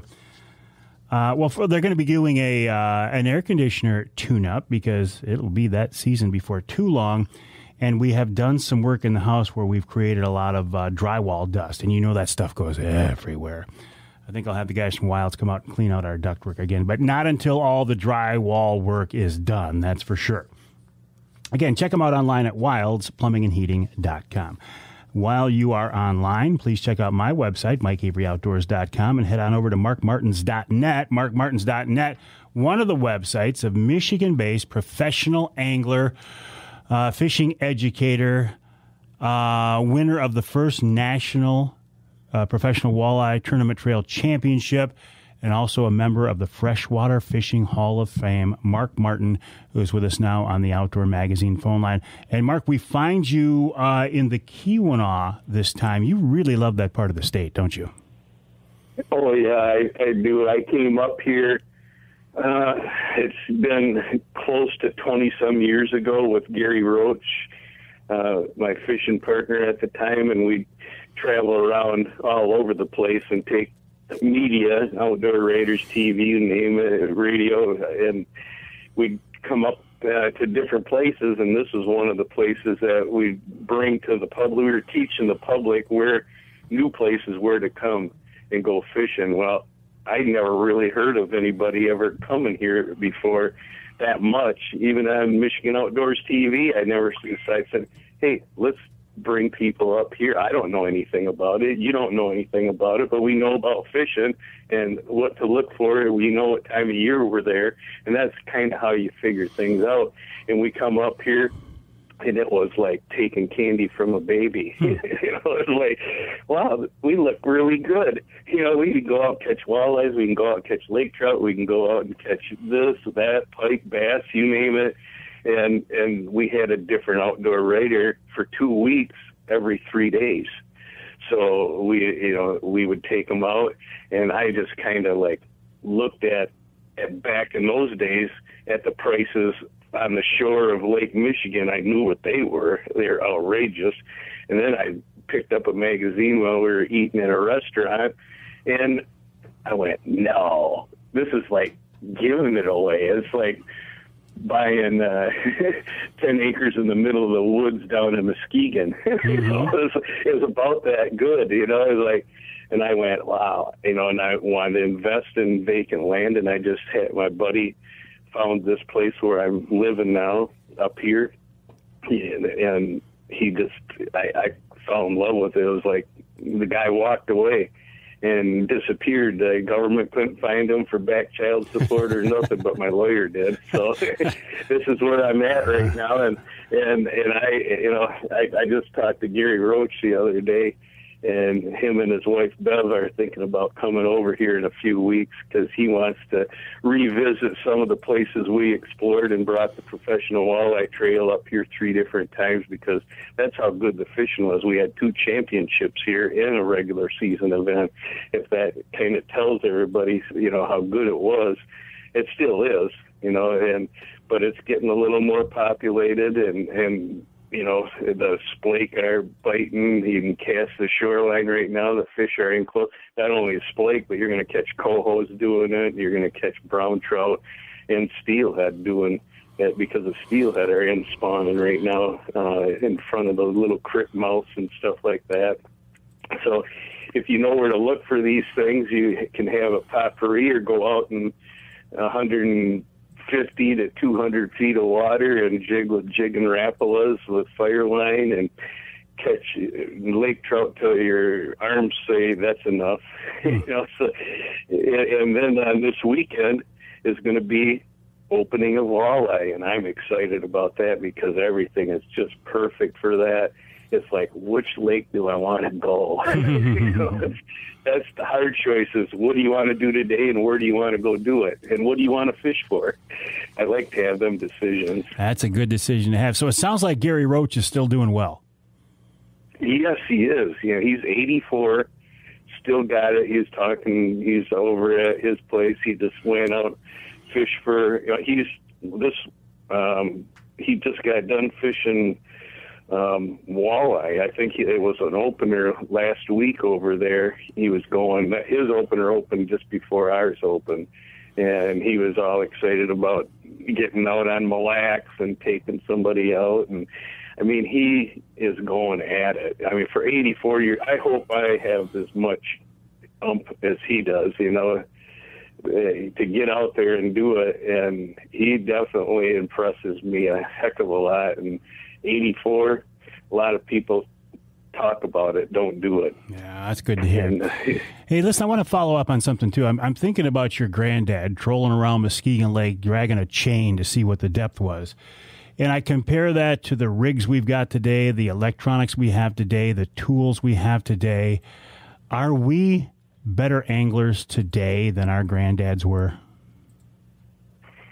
Mm,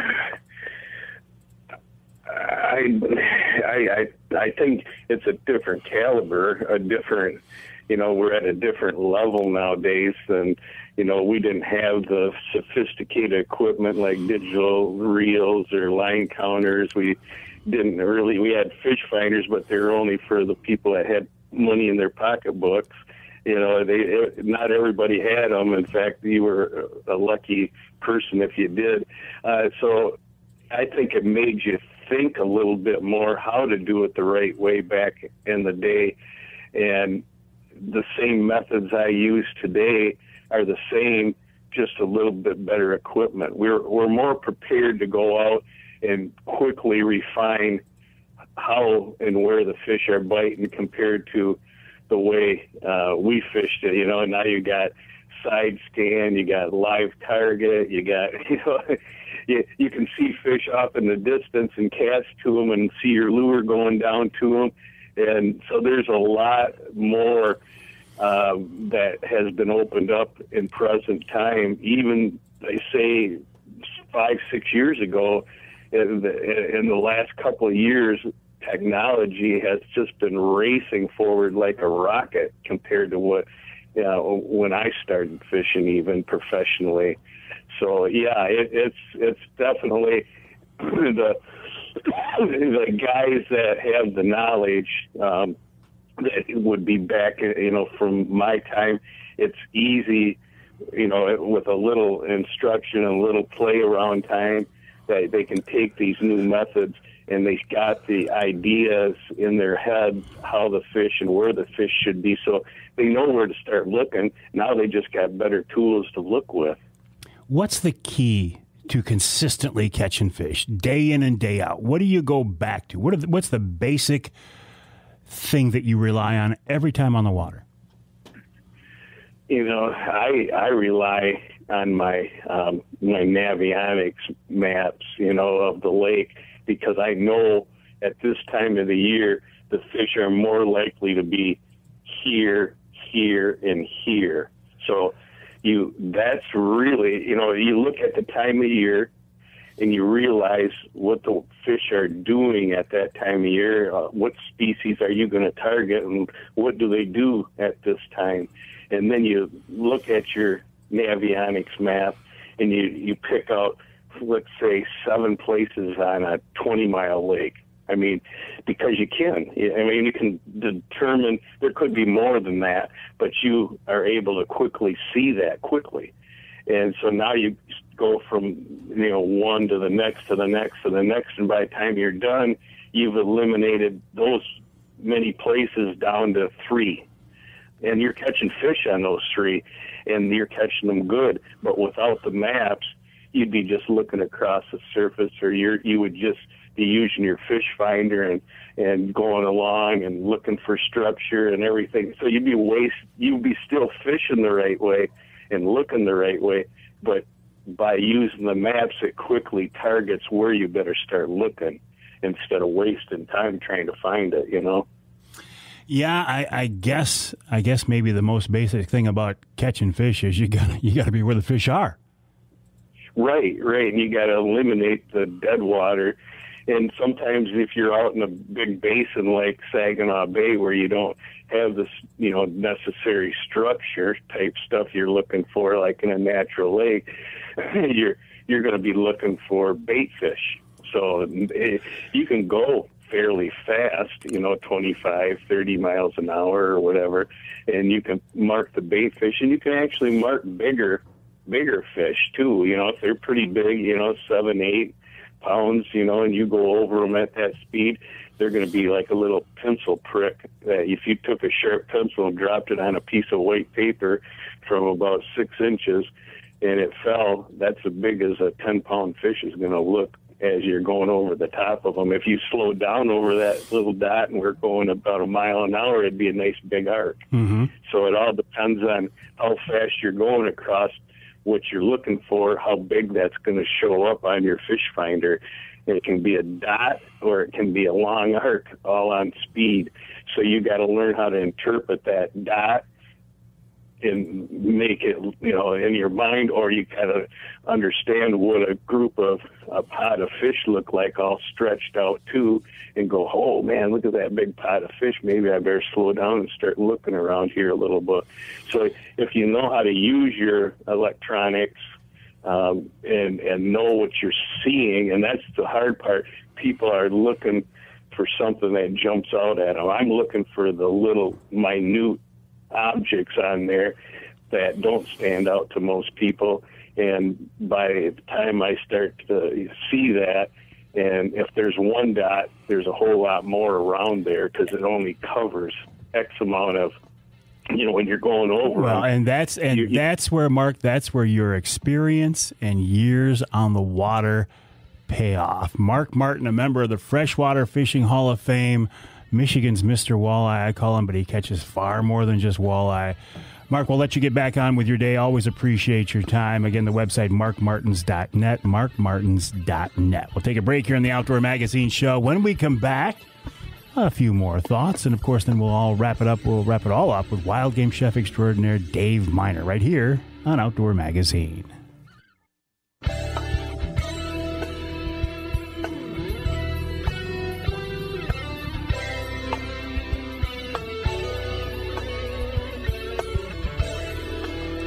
Welcome back to Outdoor Magazine.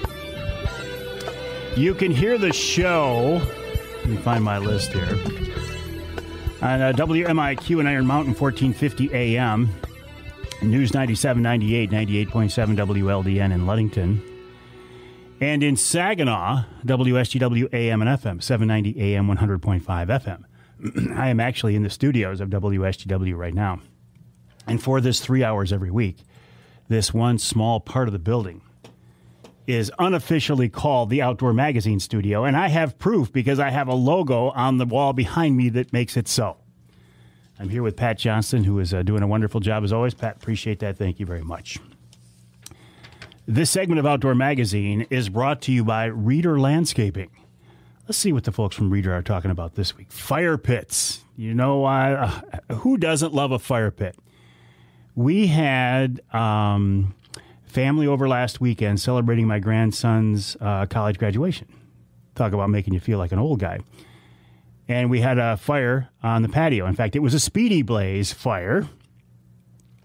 And the folks at uh, Reder can help you make a beautiful backyard fire pit. Also, uh, it's the last call for a 10% discount on bulk mulch. Nothing makes your your yard look uh, sharper or more finished off than mulch in the beds and around the trees. Uh, that's also for compost and topsoil, and also perimeter uh, pest control. Get in touch with the folks uh, from Reder uh, for that and more. The website rederlandscaping.com, R E D E R, rederlandscaping.com. Always nice to uh, reminisce with Mark Martin and I was telling Pat, I was telling Pat that I, I had this this train of thought when I was talking to Mark, something that I wanted to come back in the studio and talk about. I took a little drink to get a uh, took a little walk to get a drink of water, and and, and I, I left my mind. I said, I don't know what I'm going to talk about. And Pat said, Why don't you talk about what we were talking about before the show started? and one of those topics was, and I don't remember how we got on the topic, but it was um, old music, rock music, and you know different musicians, musicians and such. And I was telling Pat that I actually got to spend some time, and this is a long time ago. Uh, remember a group called the Damn Yankees? Ted Nugent, Uncle Ted was part of that. Tommy Shaw, Jack Blades, and I can't think of who else the other guy was. Um, but I was working with uh, Uncle Ted at the time. And we were in Florida it wasn't my full time job. I was still at that point considering leaving my full time job with a TV studio and going to work with Ted. But we were down in Florida. We uh, did some gator hunting, and there was something else he did while we were down there. And then also they were doing a show. Damn, Damn Yankees was doing a show in Fort Lauderdale, maybe it was somewhere and uh, of course we shot some video of that. That that was part of the whole thing. This is when Ted was doing his early TV show, and I was working with him on it. And at one point, I found myself in the back seat of a limousine with Ted Nugent, Tommy Shaw, Jack Blades, and uh, Michael Cartellone or something like that. Pat. So here, here I am riding from the hotel over to the venue where the concert was in the back seat of a limo with Damn Yankees. Isn't it interesting where a career will take you? From walleye fishing at night on Muskegon Lake and the Muskegon Channel with Mark Martin to the backseat of a limousine with the damn Yankees in Florida. And on lots of places in between. It is pretty cool, though. I mean, when you have a love and a passion and an interest in something like I do for the outdoors, maybe like you do, but but everybody has it. Well, I don't know. I think everybody has something that fires them up, that keeps them motivated, that keeps them interested, that gets them excited. I hope everybody does. You know, it may be the outdoors, it may be technology, it may be I, I don't care gardening, whatever it is. I think you've got to take advantage of of that, whatever that is. In my case, it's hunting and fishing and the outdoors and broadcasting and all that other good stuff. But I think if you can tap into what really gives you joy, what gets you excited, I, I think, I don't know, I think it makes life go by in a lot better mood, a lot better frame of mind. At least you'll be in a better mood, a better frame of mind. And if you do love the outdoors, I mean, I'm telling you, I, I, am convinced. I've said this before. I don't think there's a better place than Michigan. Don't forget, as we were talking about earlier, May is the time to apply for your fall bear tag here in Michigan and your fall elk tag. You've got until the end of the month. Uh, walleye season opens in the UP this weekend. Um, you've still got some time. Late season turkey hunters. That season will go through the end of May. I'm I'm I'm going to be out there tomorrow as we're recording the show. I'm going to be out there tomorrow morning, and then we'll see what happens after that. Because if I do get my hands on that Angler Quest later in the week, that may become my focus for the next several weeks. Chasing walleye on Saginaw Bay. We'll uh, take a break here on the Outdoor Magazine show. In fact, our last break of the show.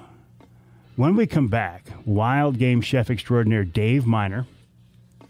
Dave wraps up each week's show with a, a great wild game recipe. And since uh, at this time of day, as we are recording the show, it's almost noon, those recipes always sound good. In fact, I've never had a bad recipe. Never. Some of them may not have been my my preferred taste, but I've never had anything bad from Wild Game Chef Extraordinaire Dave Minar. And he'll be with us after the break right here on Outdoor Magazine.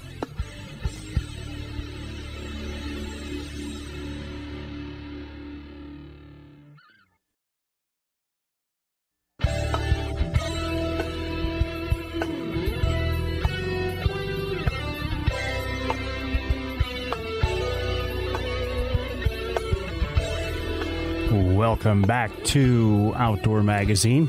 Thanks for joining us this week. I do appreciate it.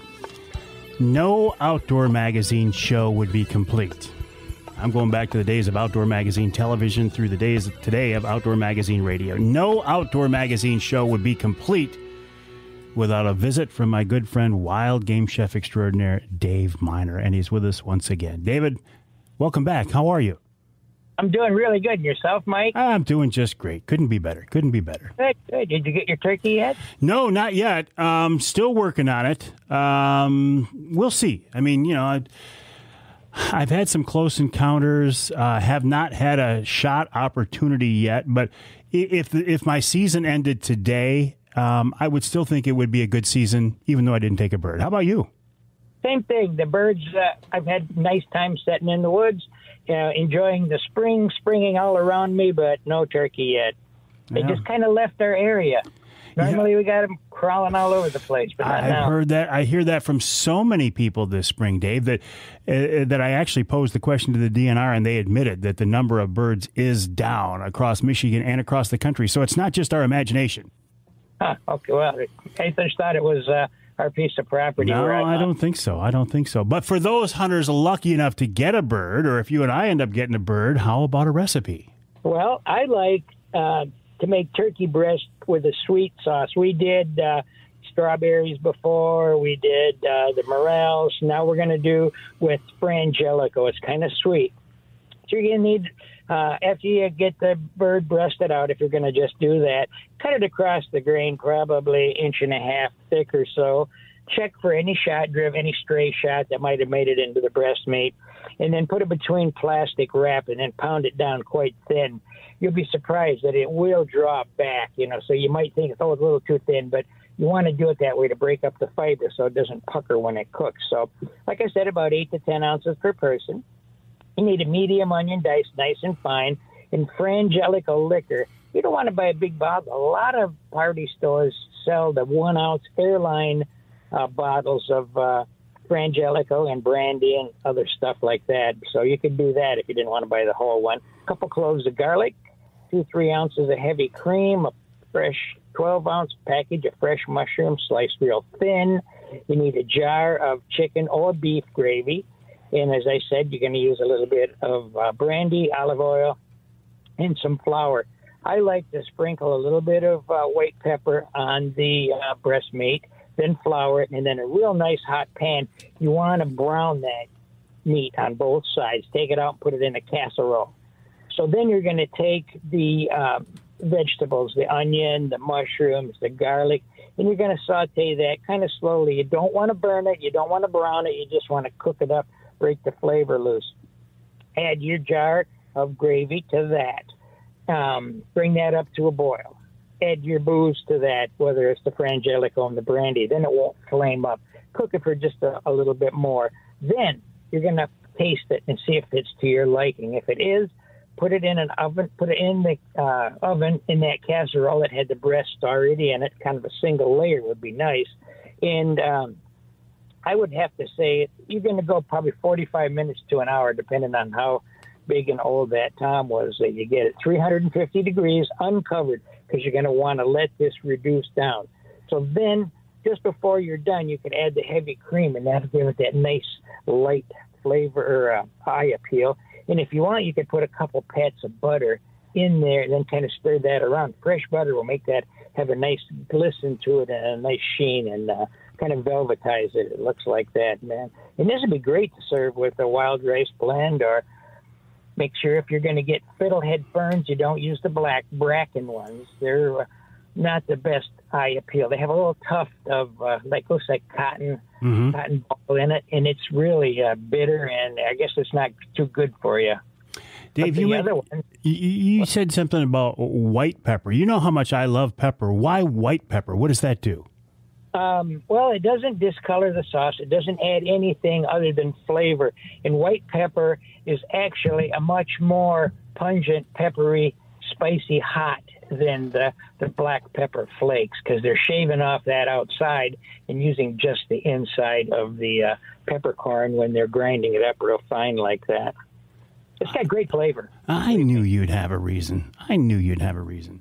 All these trips and uh, tips and uh, tricks and advice that you've generated and come up with over the years. Pretty cool, Dave. Well, thanks a lot. You know what? I've been working on getting the restaurant uh, back up to running stuff. Ah, We're shooting for sometime in June. no kidding.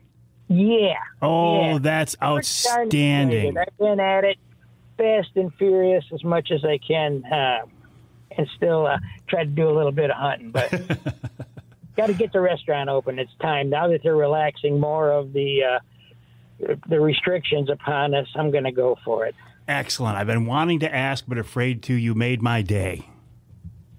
Well, we could do a Wednesday night after we get rolling for a little while, see how things go. Once we get rolling, we'll plan on it. Wild game chef extraordinaire Dave Minar with some great news there. Dave is a big part of the Outdoor Magazine show, as are you, because if you weren't listening, there'd be no reason for me to do the show. I would encourage you uh, during the week, check out the website, MikeAveryOutdoors.com. Uh, follow me on social media on Facebook, Instagram, YouTube. Oh, what else is out there? Twitter. Eh, yeah, Twitter. Yeah, Twitter. Uh, my uh, email address is mike at mikeaveryoutdoors.com. That's mike at mikeaveryoutdoors.com. You can always reach me there. Send me a question, a comment, whatever. Um, and I will be back in touch with you. And I will talk with you next time right here on Outdoor Magazine.